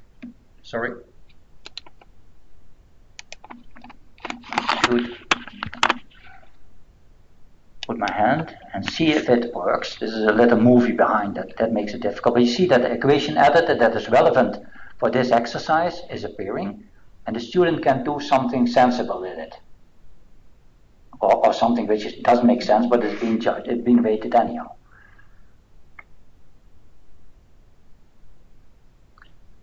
So this, this response is then, um, let's say, evaluated automatically. So all is at, at hand. And of course, this has a meaning. This has to fit a certain purpose within mathematics. I'm giving you just one of the examples. Okay? No, it's going again. Sorry. I can stop this, huh? We make a good team, uh, uh, Randy. The next one is that can you imagine that if you read something or if you write something, so within this whole exercise of evidence-centered design, one of the one of the features was if you have a text and you can divide it into paragraphs that are of interest, so highlighting the different, let's say, aspects of a text is one of the features to be able to understand the text. So this is the reciprocal, it's, it's the other way around. So one of the questions would be, can you divide a, a, lump of text into relevant paragraphs. And this is the way it can be done. And again, the scoring machine behind this is evaluating this. You can also do some, if you haven't done that. Yeah.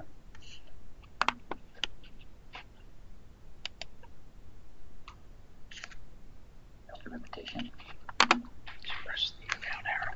Push this one. Mm -hmm. The next one would be, you can imagine if you have a text and there are grammatical errors of, or errors in the text itself, and you can ask the student to spot them, to highlight them, and you can evaluate them.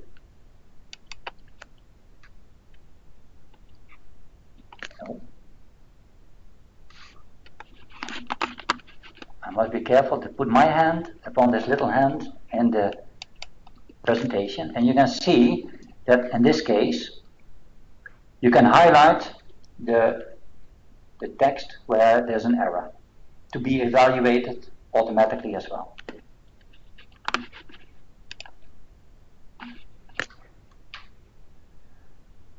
And this one is a little bit more advanced. It says detect the wrongly spelled items and correct them.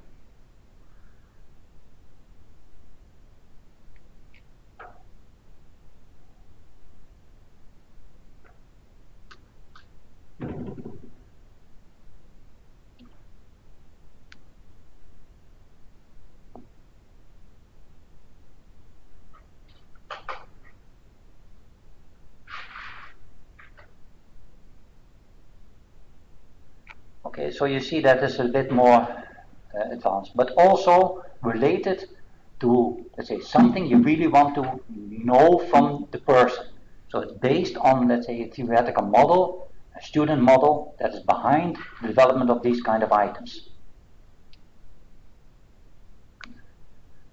Um, it's a nice one. I, I, I think um, what can be done is nice. Um, this is about um, uh, yeah, a mathematical exercise just to give you an impression. There are two trees. There's a there's a um, what do you call it? Something that that birds gets afraid of is in the field, and uh, this is, a, is something a map that is left over to a to a a, a boy uh, of this age, and he finds to get a treasure, which is on the, the in the in the middle of the circle that um, that has the, the two trees and the the uh, the bird um, I call it frightener um, and the circle. So I just give it no.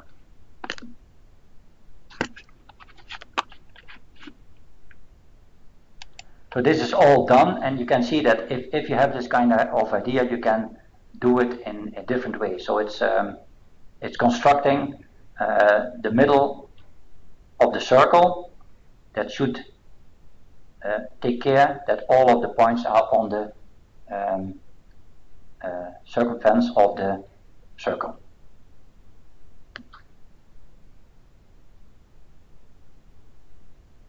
So the different tools are, are developed.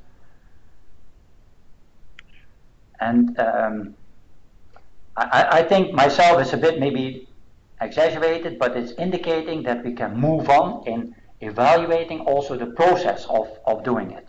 Now this is done correctly, so the, the nice thing is that if you go live, what, what is a student doing? And it's all recorded as well, as Randy already explained, leading to some, uh, let's say, conclusion about the abilities of the student.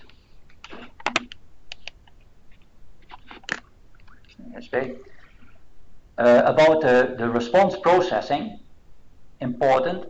This is a, a, nice item too. Um, it, it, has, um, let's say, the, uh, to find out the, the, the area um, by formula of A and B for the rectangular, which is um, uh, in, in this uh, presentation, based on the shape of the triangular that forms the basis of, uh, of this um, uh, square. And obviously, I challenge you, you can do it immediately or I can leave it a little bit, but the, the, the, the, the, the area is uh, a square plus b square. Uh, you can do that smartly, but you can also do it a little bit more uh, in a different way, or even others. All of them are, let's say, indicating maybe not the correct answer, but they would lead to the correct answer if you would simplify the formulas. So does it mean that the student has got it wrongly or whatever? You can detect maybe from the different types of answers that you allow also um, some of the, how you call it, subcomponents of the ability of a student. Yeah? So you can judge all of the different and evaluate all of the different responses.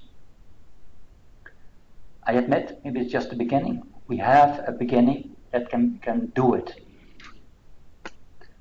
And uh, the, the, the, the, um, the, little panel that you have on the right hand side below uh, gives you to uh, um, access to evaluate the different types of, let's say, responses that you have. Uh, so whether it is better or equal or uh, approximately equal. It depends a little bit on the purpose of your test. So you have an, you have an interaction with the scoring of the different responses. Um, remember that this, this was about a diagnostic test. Uh, so it's not uh, uh, the, the score which is important. The score is important too, but you need to, to assemble and collect data along the road, along the process that can uh, give you some insight about the abilities of the, of the students. So you can add uh, coding information along the processes and you can relate possible responses to one or more aspects of the, of the skill module. As you start off with a, with a student model, exactly explaining what do you want to measure from a student, getting the items uh, together. And delivery is a response uh, producing during the test. It generates diagnostic data because you have, let's say, student-wise collected data, and you use adaptive uh, algorithms in between to get um, uh, the let's say, to the next uh, assignment of the student depending on their uh, responses so far. And just to give you a, a little bit of insight, um, normally you would be interested in the raw score. Is the, is the answer correct or not? But this is also about, let's say, disentangling the process of the scoring. So you would collect all kind of information during the, the let's say, the test taking. The reporting is based on a, on a different uh, psychometric modeling Bayesian uh, network, also leading to probability in the end, whether a student is on level, below level, or above level. Never been sure, but as a highest prob probability. This is just giving you some insight. So this is what we call uh, advanced uh, computer-based testing item types that collect more data than just a single delivery, uh, adding advanced scoring for diagnostic testing, using adaptive testing, in the end, it should, it could to lead to reduced testing time and authentic testing experience. And I want to use one more minute words for a very nice application that I uh, myself like very much. Um, it's celebrating educational progress. Testing not as a test, but as a kind of challenge to uh, individuals. What is interesting in formative assessment is to find out where is the person right now, where are you going to, and how can you get the learner to go there.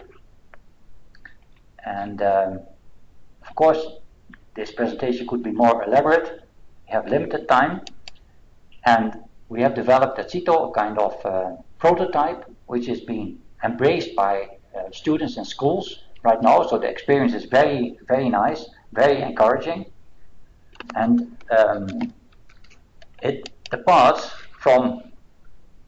Again, don't try to read because it's Dutch, but you can read the, the bullets. They are green, they are crossed, and you see little pictures on top, I hope. Yeah? So on the, what you can call the, the X axis, there are different students. All of them are different. And on the left-hand side, you see all, with all this text, you see learning objectives. Learning objectives formulated in two ways. One, teacher to be understood by a teacher, and another learning objective to be understand to be understood by the learner. Yeah? And this is the control panel from the teacher, on which you can see that, let's say, the which learning objectives have been assigned to the individual learner. The green bullet means that the learner has made some of, some items. Each learning objective is measured by about seven items, so it's very briefly done.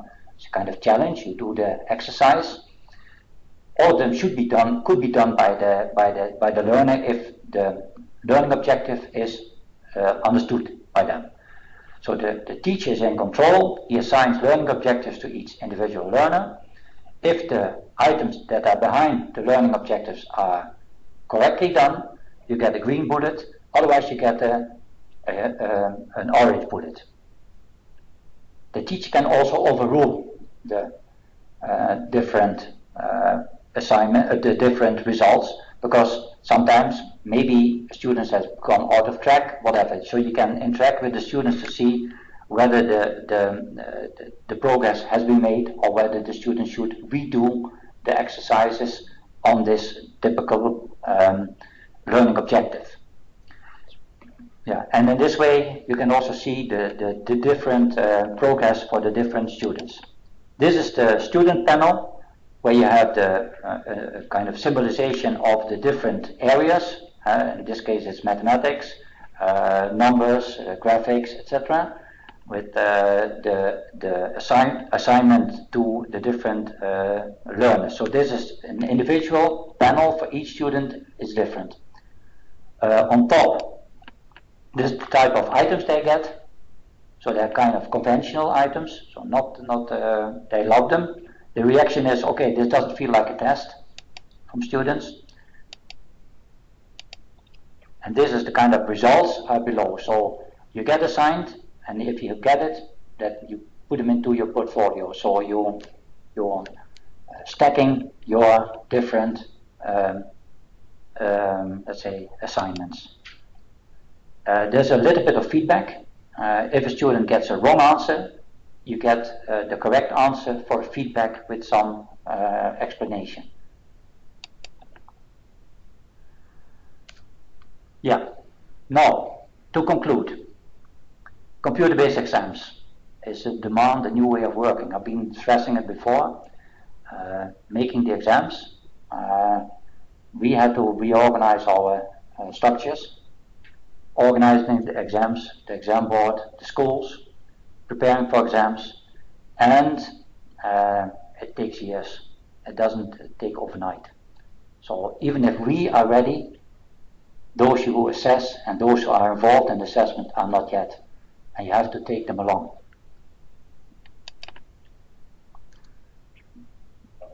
Well, it's one of my slogans. Never forget the purpose. Go back. It can be a nice item, but does it suit to the purpose? Do your research. Apply lessons learned, and don't apply lessons learned by others, but learn by yourself. Gather evidence. I think we get into a kind of community to use open standards, embrace them, add, and see if we can um, work together. Collaborate and implement. For me, it's about time for a beer. I know it's not your brand, but you will forgive me that this, this one is taken in Vietnam. Um, but it could have been here. Um, enjoying the world, enjoying food, enjoying company. Thank you very much.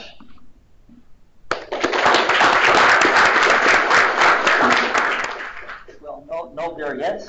We're first going to take a few questions and then we'll see whether we've got a beer in stock for you, uh, Frans.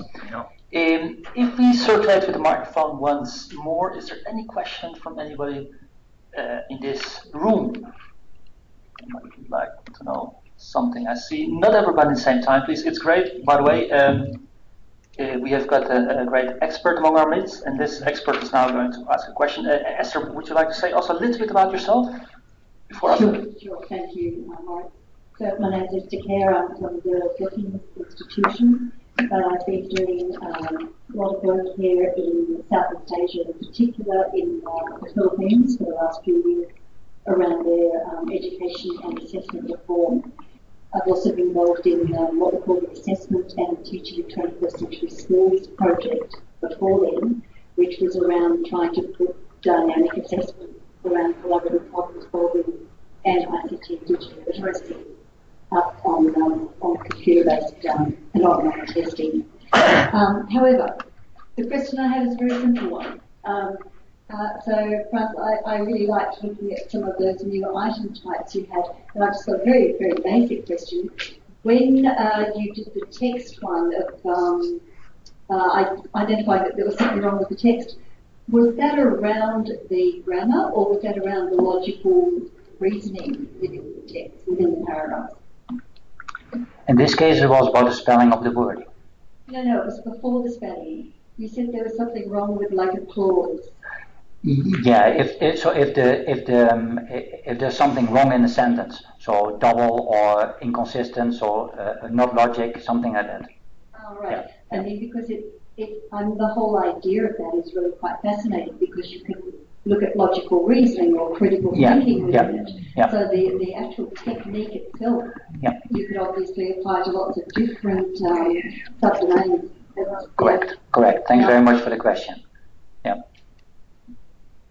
That is very interesting. Um, in this moment, no questions from Skype seem to be coming through. I, am going to, to, to abuse the fact that I'm sitting here to also ask you a question, uh, Frans, and uh, in a way uh, benefiting from uh, Esther's uh, presence here. Uh, know that you're an expert in assessment of 21st uh, century skills. Um, when we think about 21st century skills, at least as it was conceptualized at the time by the OECD, it united things of around information skills, communication skills, but also uh, socio-ethical commitments, I think that uh, they called it at the time.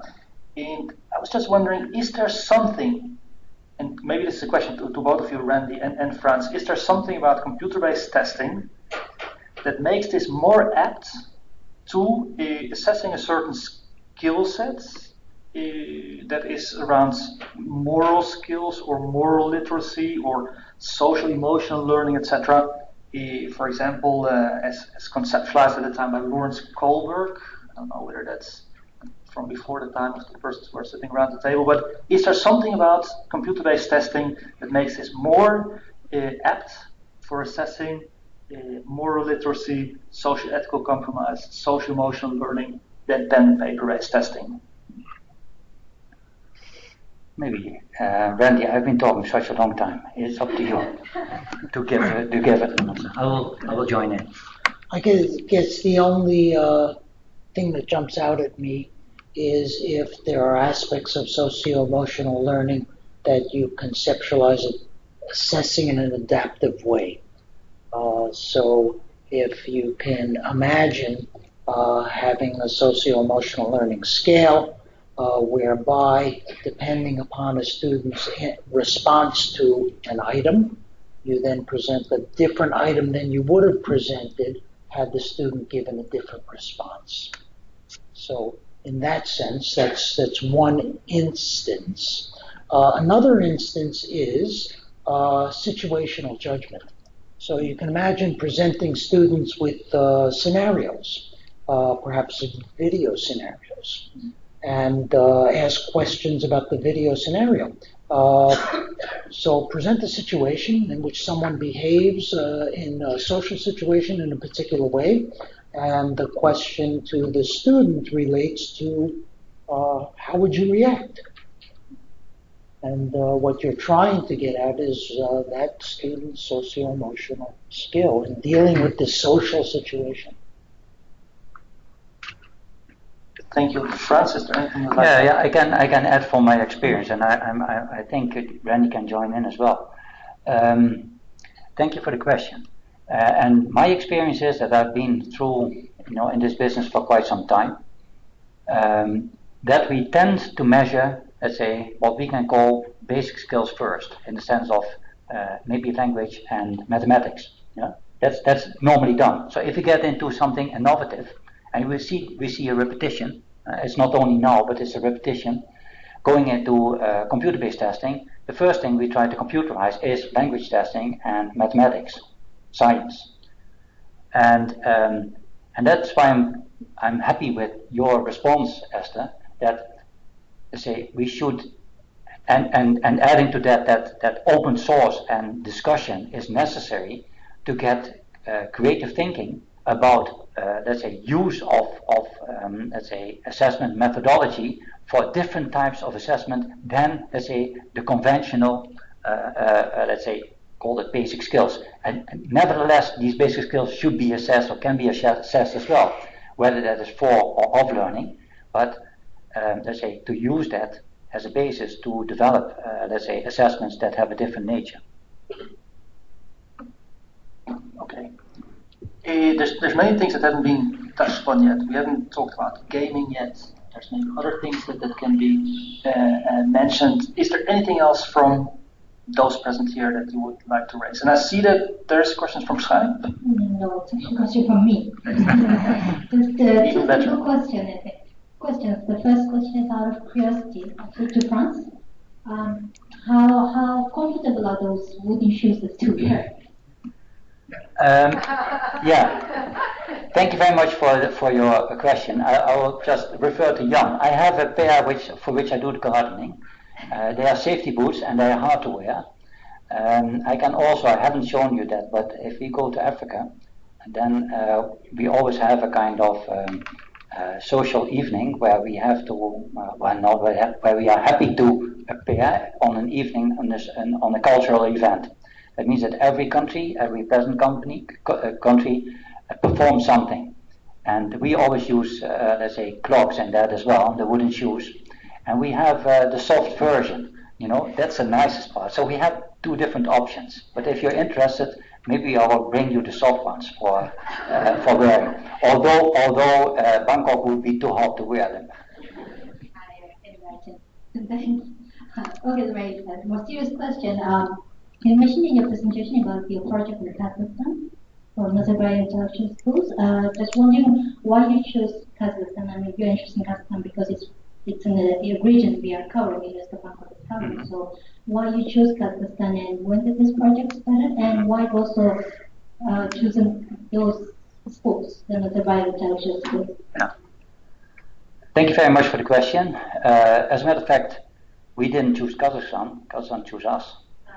Um, uh, and um, I got aware of that, that that's where we, where to me, West and East meet because you, you are covering Kazakhstan. and We are there, out there as well. We've been there since uh, 2010. Uh, so they got to know about uh, our assessment expertise, and we have been sharing that with them in different projects. Uh, not only uh, our institute has been there, but also Cambridge Assessment has been there for the for the curriculum part.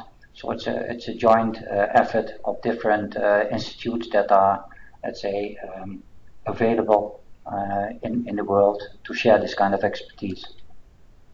And the type of projects, so this is, let's say, for selection tests, so they have uh, a number of schools that are kind of example schools, uh, secondary schools, so they have to select uh, the brightest students in there to get the correct students in.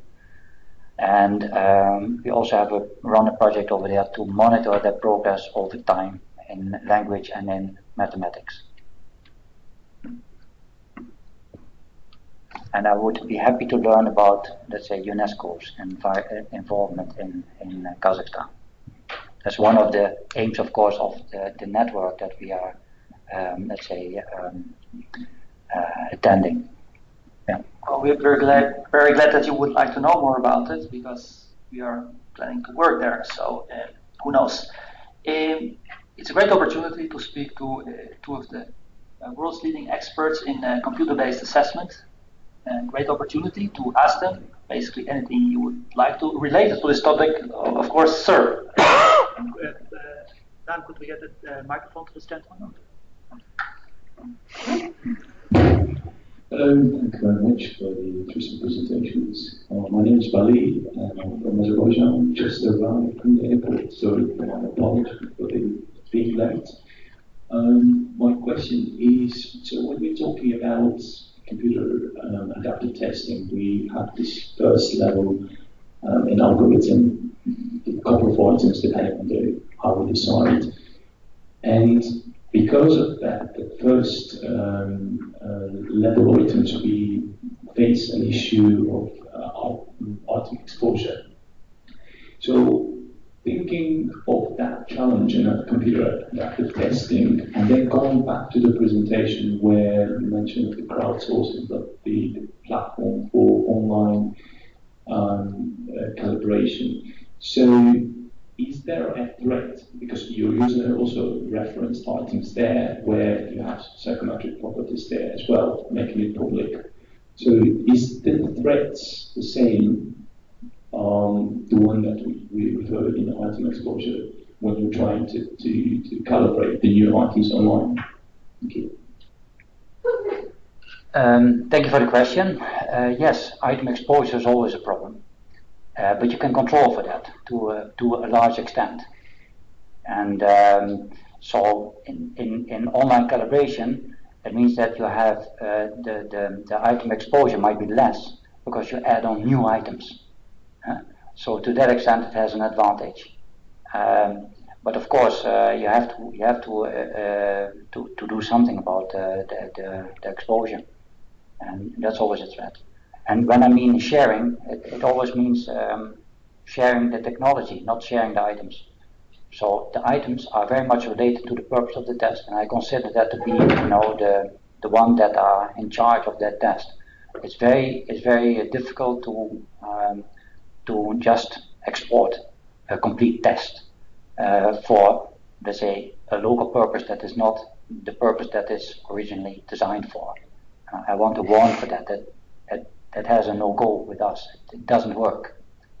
So you have to redo the designing, the purpose, and sometimes they might fit in, but don't take them just like that.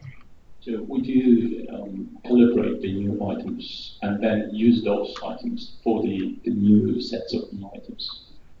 Well, yeah, uh, technically it works like, uh, let's say, the, the, the, the, based on a small pool of which you know the characteristics. So it's still conventional CAT or conventional uh, automatic assembly. But the nice thing about this using online is that you're restricted by using a, a, a subset of which you know the properties. That uh, makes makes the, the, the, the, calibration, the online calibration of new items into the set uh, possible.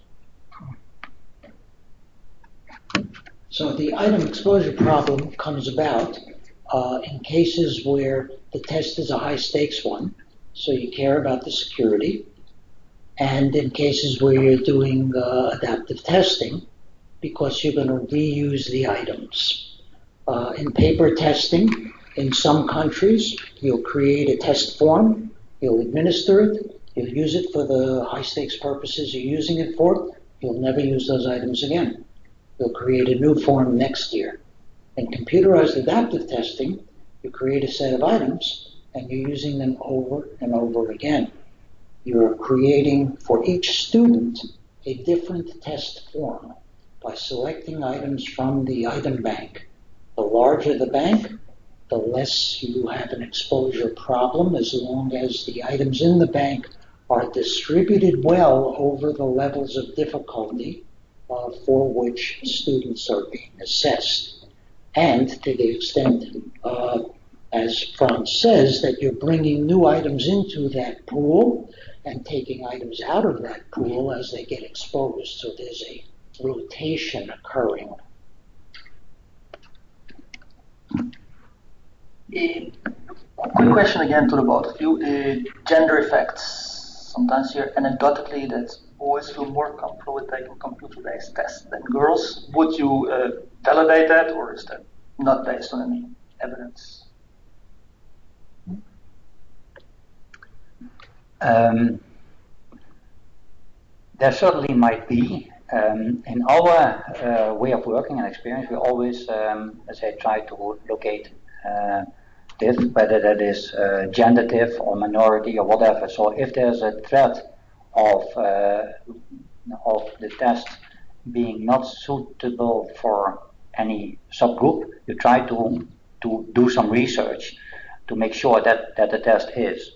Uh, that, that sounds like an open door solution, but uh, uh, let's say DIF research sometimes is, um, let's say, a costly research, takes a lot of a lot of time, and it should be in vain. Because if you find something, you have a problem.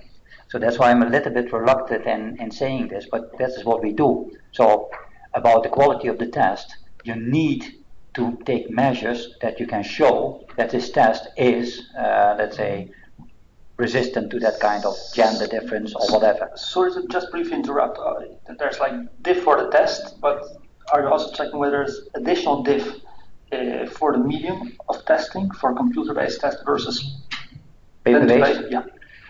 Um, you, that, that is only valid if, if you have uh, the situation where you want to compare the two of them. Uh, so yeah, well, uh, another open door maybe, but um, so if if so, yes, we do. Uh, if not, so we, you can see that um, that that, and it depends very much on the type of test. That there's also something like okay, uh, girls can do better on uh, on on you know have have a, is favorable for language testing and boys for mathematics. But things turn out sometimes the other way around. Uh, the, the basic is, and I, I did in one of my last sheets, is do your research, and that is related to the purpose of the test. And of course, one of the quality of the test is that it, that it, that you do this kind of research.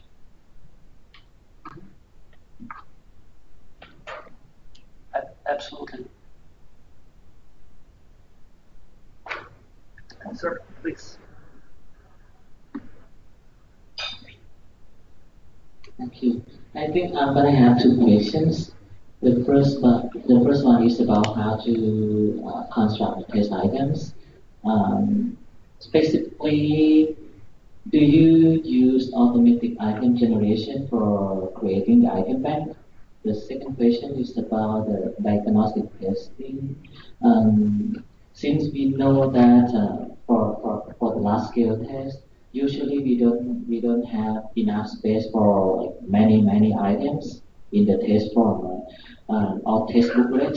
How can we construct and include enough number of items for diagnostic purposes? Thank you. And, and sorry, would you mind saying who you are and, and where you work? If you don't Uh, my name is Tumapan. I'm from the National Institute of Educational Testing Service of Thailand. It's like similar to ETS.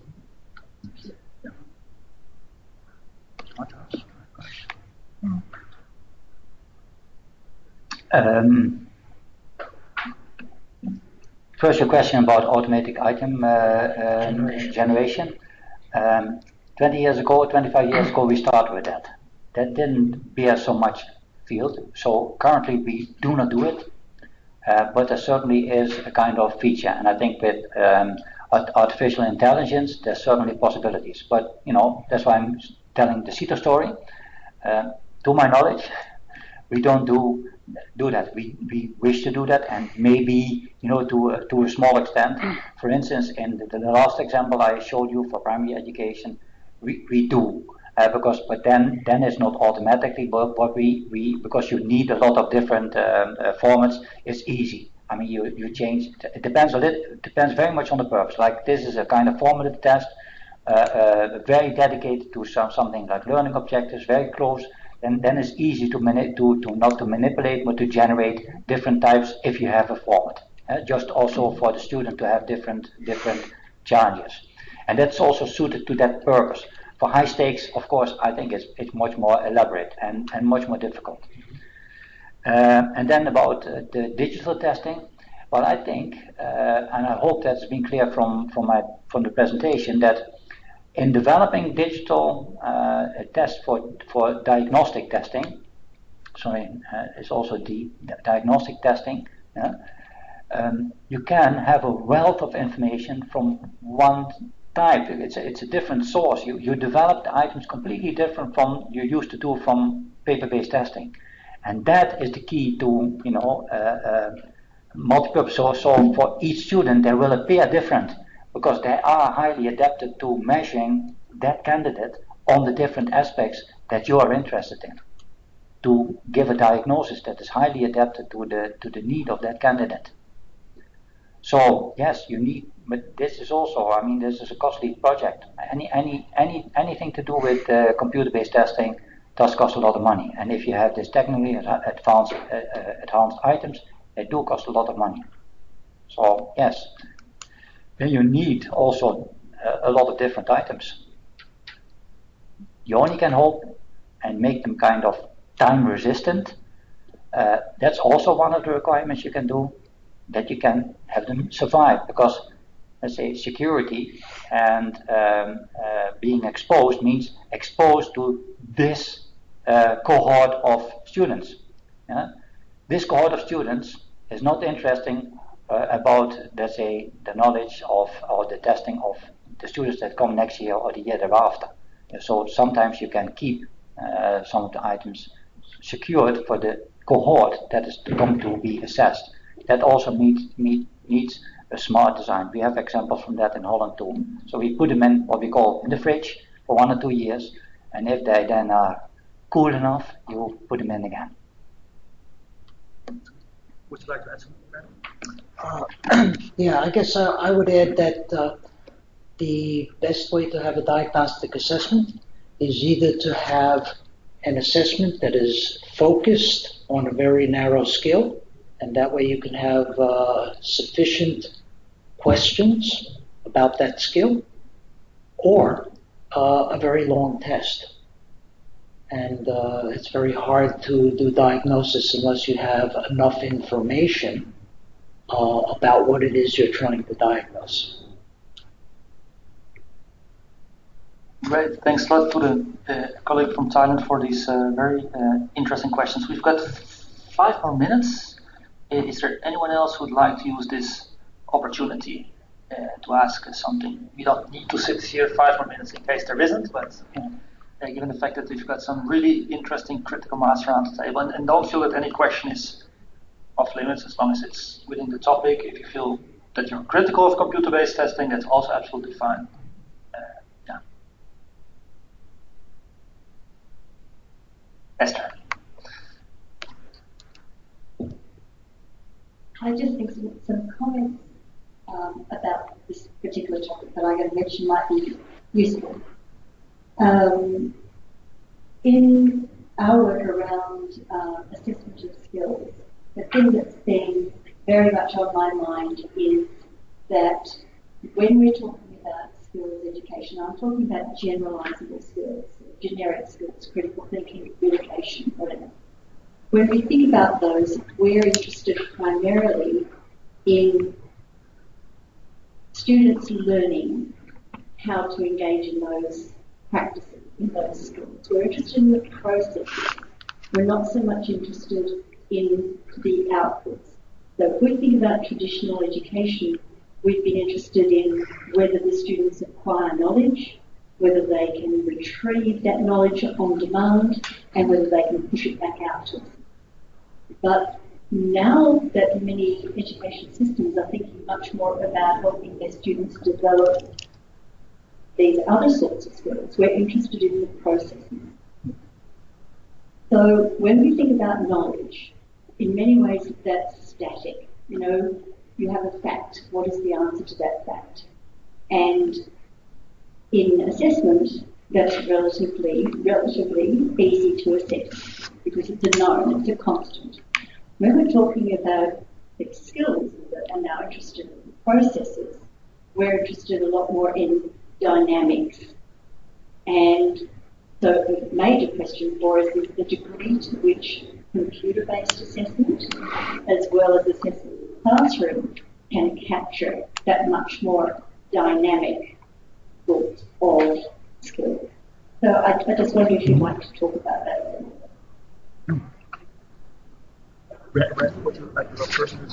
Yeah. Well, one interesting question, and I think ongoing debate, uh, is whether it makes more sense uh, to assess things like communication and uh, collaboration and critical thinking in particular uh, as general skills or within the context of uh, specific domains. Uh, under the, or following the argument that the nature of those skills uh, changes uh, in some important ways uh, from one domain to the next. critical thinking is not the same in science as it is in art history. Uh, as it is in mathematics, as it is in the English language arts.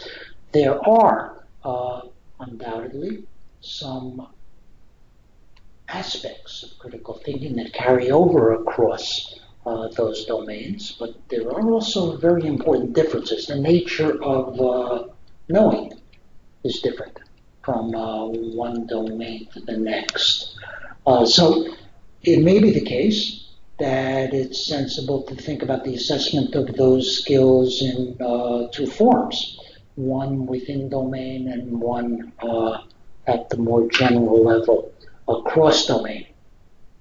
In uh, cognitive sciences, uh, it's generally it's recognized that general skills are broadly useful, but they're also very weak. They don't get you very far in solving problems that require a lot of domain-based knowledge.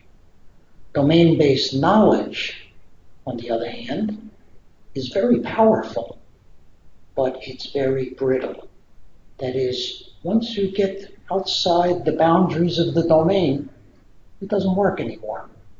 Uh, especially if you're in a domain that has very different ways of knowing, uh, very different uh, rules for what constitutes evidence, for what constitutes uh, the way in which one goes about uh, uh, traversing and behaving within that domain. So uh, th- those are my thoughts about the, kinds of uh, skills you were asking about. Uh, say more about the dynamic nature that you were talking about, so I can think more about that, if you would. I, I think there's two parts to what I'm two parts to what I'm talking about. One is one is referring to dynamic just in the sense of, of processes. We're interested in how students think. Yeah. The other way you could interpret what I said before, though, is the concept of dynamic testing, so you know, in terms of online testing. Um, so we're aware now that computer-based, or at least online testing, provides us with the facility for a dynamic environment, you know, based on the student's response to an item, that item itself can change. And at the same time, behind the scenes, we can capture a great deal of information about what the decision is basically that a student is making by virtue of the actual uh, explicit responses of that student, as well as by the nature of how the student navigates around a page of the website and so on. So I think there are two ways that you could take my question, and either is equally, yeah. equally yeah, so both things are true, I think. Uh, one can uh, record the process the student is using, and it could be in the context of a collaborative problem, which two students are working and the collaboration itself is being uh, recorded and then analyzed uh, with inferences drawn about the quality of the collaboration and the extent to which the collaboration resulted in something of meaning, uh, perhaps in solving a problem that uh, the pair or uh, maybe group was given to solve. Uh, but further, to your second meaning, uh, it could be the case that in the design of your assessment, you decide to give a different problem based on the results or the process that uh, you observed the students using in uh, the first problem. So I think both of those things could happen in a computer-based environment in ways that they could not easily happen in a uh, more traditional one. Thank you. Does that, is that okay for the Maltester? I mean, we can surely keep uh, talking afterward, and please feel free to use this this this space here. Uh, there was one question from Mr. Hussein. There's also a question from Camilla. Let us take those two last questions, and I don't know why they come in at the end. Um, but uh, yeah, let, us take those two uh, last questions uh, before uh, wrapping up. And, and, and, thanks for the questions, by the way. Thanks for your excellent question, Esther.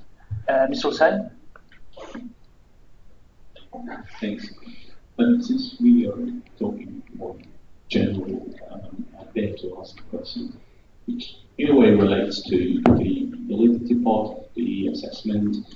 So, in many examples, many of the, the ones that they, they, they, they claim to, produce quality assessments, they do have the both reliability and validity measures or indicators um, that present the quality work but sometimes they don't have that validity um, studies that validate the assessments. They, they, they, they, they have reliability as, um, as, as an important indicator. And there are different reasons why but they may not have the studies.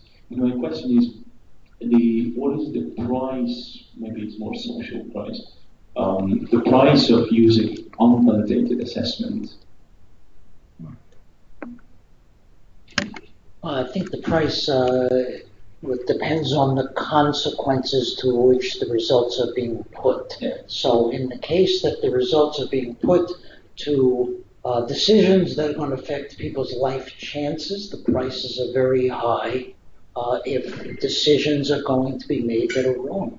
Yes. Following Samuel's message, uh, consequential validity point, how would you measure that?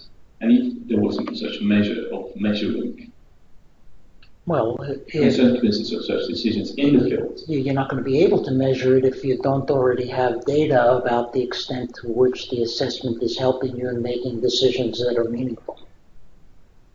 If you don't have the data, you don't know. So if you have not validated the assessment, meaning you haven't collected the data to evaluate the extent to which it is helping you make meaningful decisions, you don't know what it is you're doing wrong in terms of affecting people's lives. That's a difficult position to be in, I think. Yes, yes, before we, we can keep talking after this, yeah. if uh, uh, the, the, presenters uh, are willing to do that. Uh, Camilla, last question of the day. Thank you. I'm, I'm just sort of listening to the conversations, and, and I was just sort of curious to ask because I, I hear there's two conversations in some way. One conversation is about the quality of the item, and another conversation is about what computer-based testing can offer. And I, am just sort of curious to know in the sense of item response theory and if we are looking at a quality item, then also measuring depth understanding, so taking the item further than just yes and no. We already have that quality even though it's paper-based. And so what's, what's, what's different added from computer-based testing? I guess that's sort of, because some of the conversations, what about um, adding that quality to the item and ensuring that quality within the item, but that doesn't not necessarily about uh, computer-based testing. So that differentiation between what computer-based testing can do and what uh, a quality item is. And I guess that's just sort of my point to be made in the sense of the conversation now, so we don't do the usual mistake of um, applauding technology for um, a pedagogical approach. So just sort of question. I feel addressed little bit, uh, Camilla. Thank you very much for the question. Um, coming back to what I was uh, trying to um, to tell is that in the approach of reliability and validity, also um, let's say the usual way of um, of uh, uh, checking your, the quality of your test and the, the quality of your items, nothing much has changed. You have to do it. So uh, there's nothing wrong about uh, doing IRT or classical test theory um, on newly developed items in CBT. So the, the value added for CBT is that you can have formats that, that are not possible on paper. And I would also like to focus on that because been coming back to one thing, depend on the purpose of the test, depend on, uh, let's say, the, the, the value added of, of the CBT. Yeah? And if there's no value added, paper-based testing is very cheap, I can tell you. Yeah? And there's nothing, and, and, it's, and, and, and uh, well, Randy, I think uh, he can speak for himself, but there is a lot of testing around without that people are, are not aware of testing. You know, a classroom, uh, uh classroom, uh, there's, there's almost a continuous assessment without that it is recorded. With, with computers upcoming, it might be a different way of recording. So you get the idea of big data. Collect what you can collect and see what you can do with it. Coming back to your question, it means that traditional way of, um, of uh, uh, analysis still remains. Um, time was too short to tell you something about, let's say, also innovative approaches in psychometrics, because if you have diagnostic data where the raw score in the end is less meaningful than the, all of the uh, data that you collect on, on, on the road, uh, on the road in, let's say, reflecting the process, that, that is a kind of uh, a new thing. But as that is even more costly and more elaborate than having different item formats in computer-based testing, doing treating them in a classical way. Is that is that an answer to your question? Yeah, I think. I mean, in particular, I think the process around how you get to the answer is very interesting, and that's something that can't sometimes observe in paper-based testing. Mm-hmm. So I think that that's very interesting. We we're developing an assessment for East Asia these days, and so it's a regional assessment. And uh, one of the things that we've been trying to sort of uh, introduce is that sort of literary, literacy aspects within each domain. So we're not talking literacy in the sense of reading, we're talking literacy in the sense of applying the knowledge to each, each mm-hmm. domain. Mm-hmm. And that also goes to mathematics and mm-hmm. how you're able to apply that in a broader context. Um, and, and some of the conversations that have been here today has, has also been about that. So I guess my point is just sort of to say, this can be done with paper-based testing too. Mm-hmm. But the process within computer-based testing is obviously very, very interesting, and there's processes that we cannot observe within uh, the paper. Mm-hmm. Yes. Randy, would you like to add something to giving effectively the last answer of today? Or, or You're the president. Oh, I, I, guess the only thing I would say is that uh, there are some skills, competencies that you won't be able to address uh, on paper uh, as effectively, if at all. for example, reading online is a different kind of reading. writing online is a different kind of writing. I go about writing very differently since I have uh, since I started writing on computer, which was very which was many years ago. But I remember how I used to write on paper, and the, the different processes, and uh, I get different results. Uh, so uh, there are things that uh, are uh, are different, and it's important to recognize uh, those differences. Thank you. Excellent. With that, thanks very much. I would also like to recognize some of the colleagues who have helped to make this possible. Firstly, Nadia Nyamko, who's sitting over there. I will not mention things she did because you have to make the mention. Uh, next to her sitting uh, Lindsay uh, Han. Thanks also very much to Lindsay. As well as one colleague who just making time, Nan Odimo. She's not here. She's sitting outside. Clap louder for her.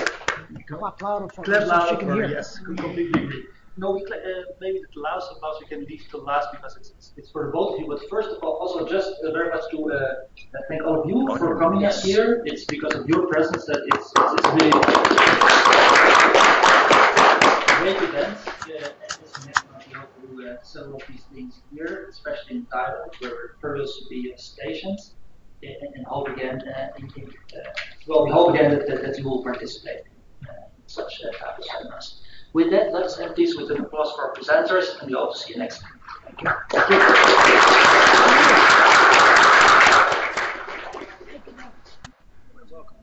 Excellent. Oh, yes, yes.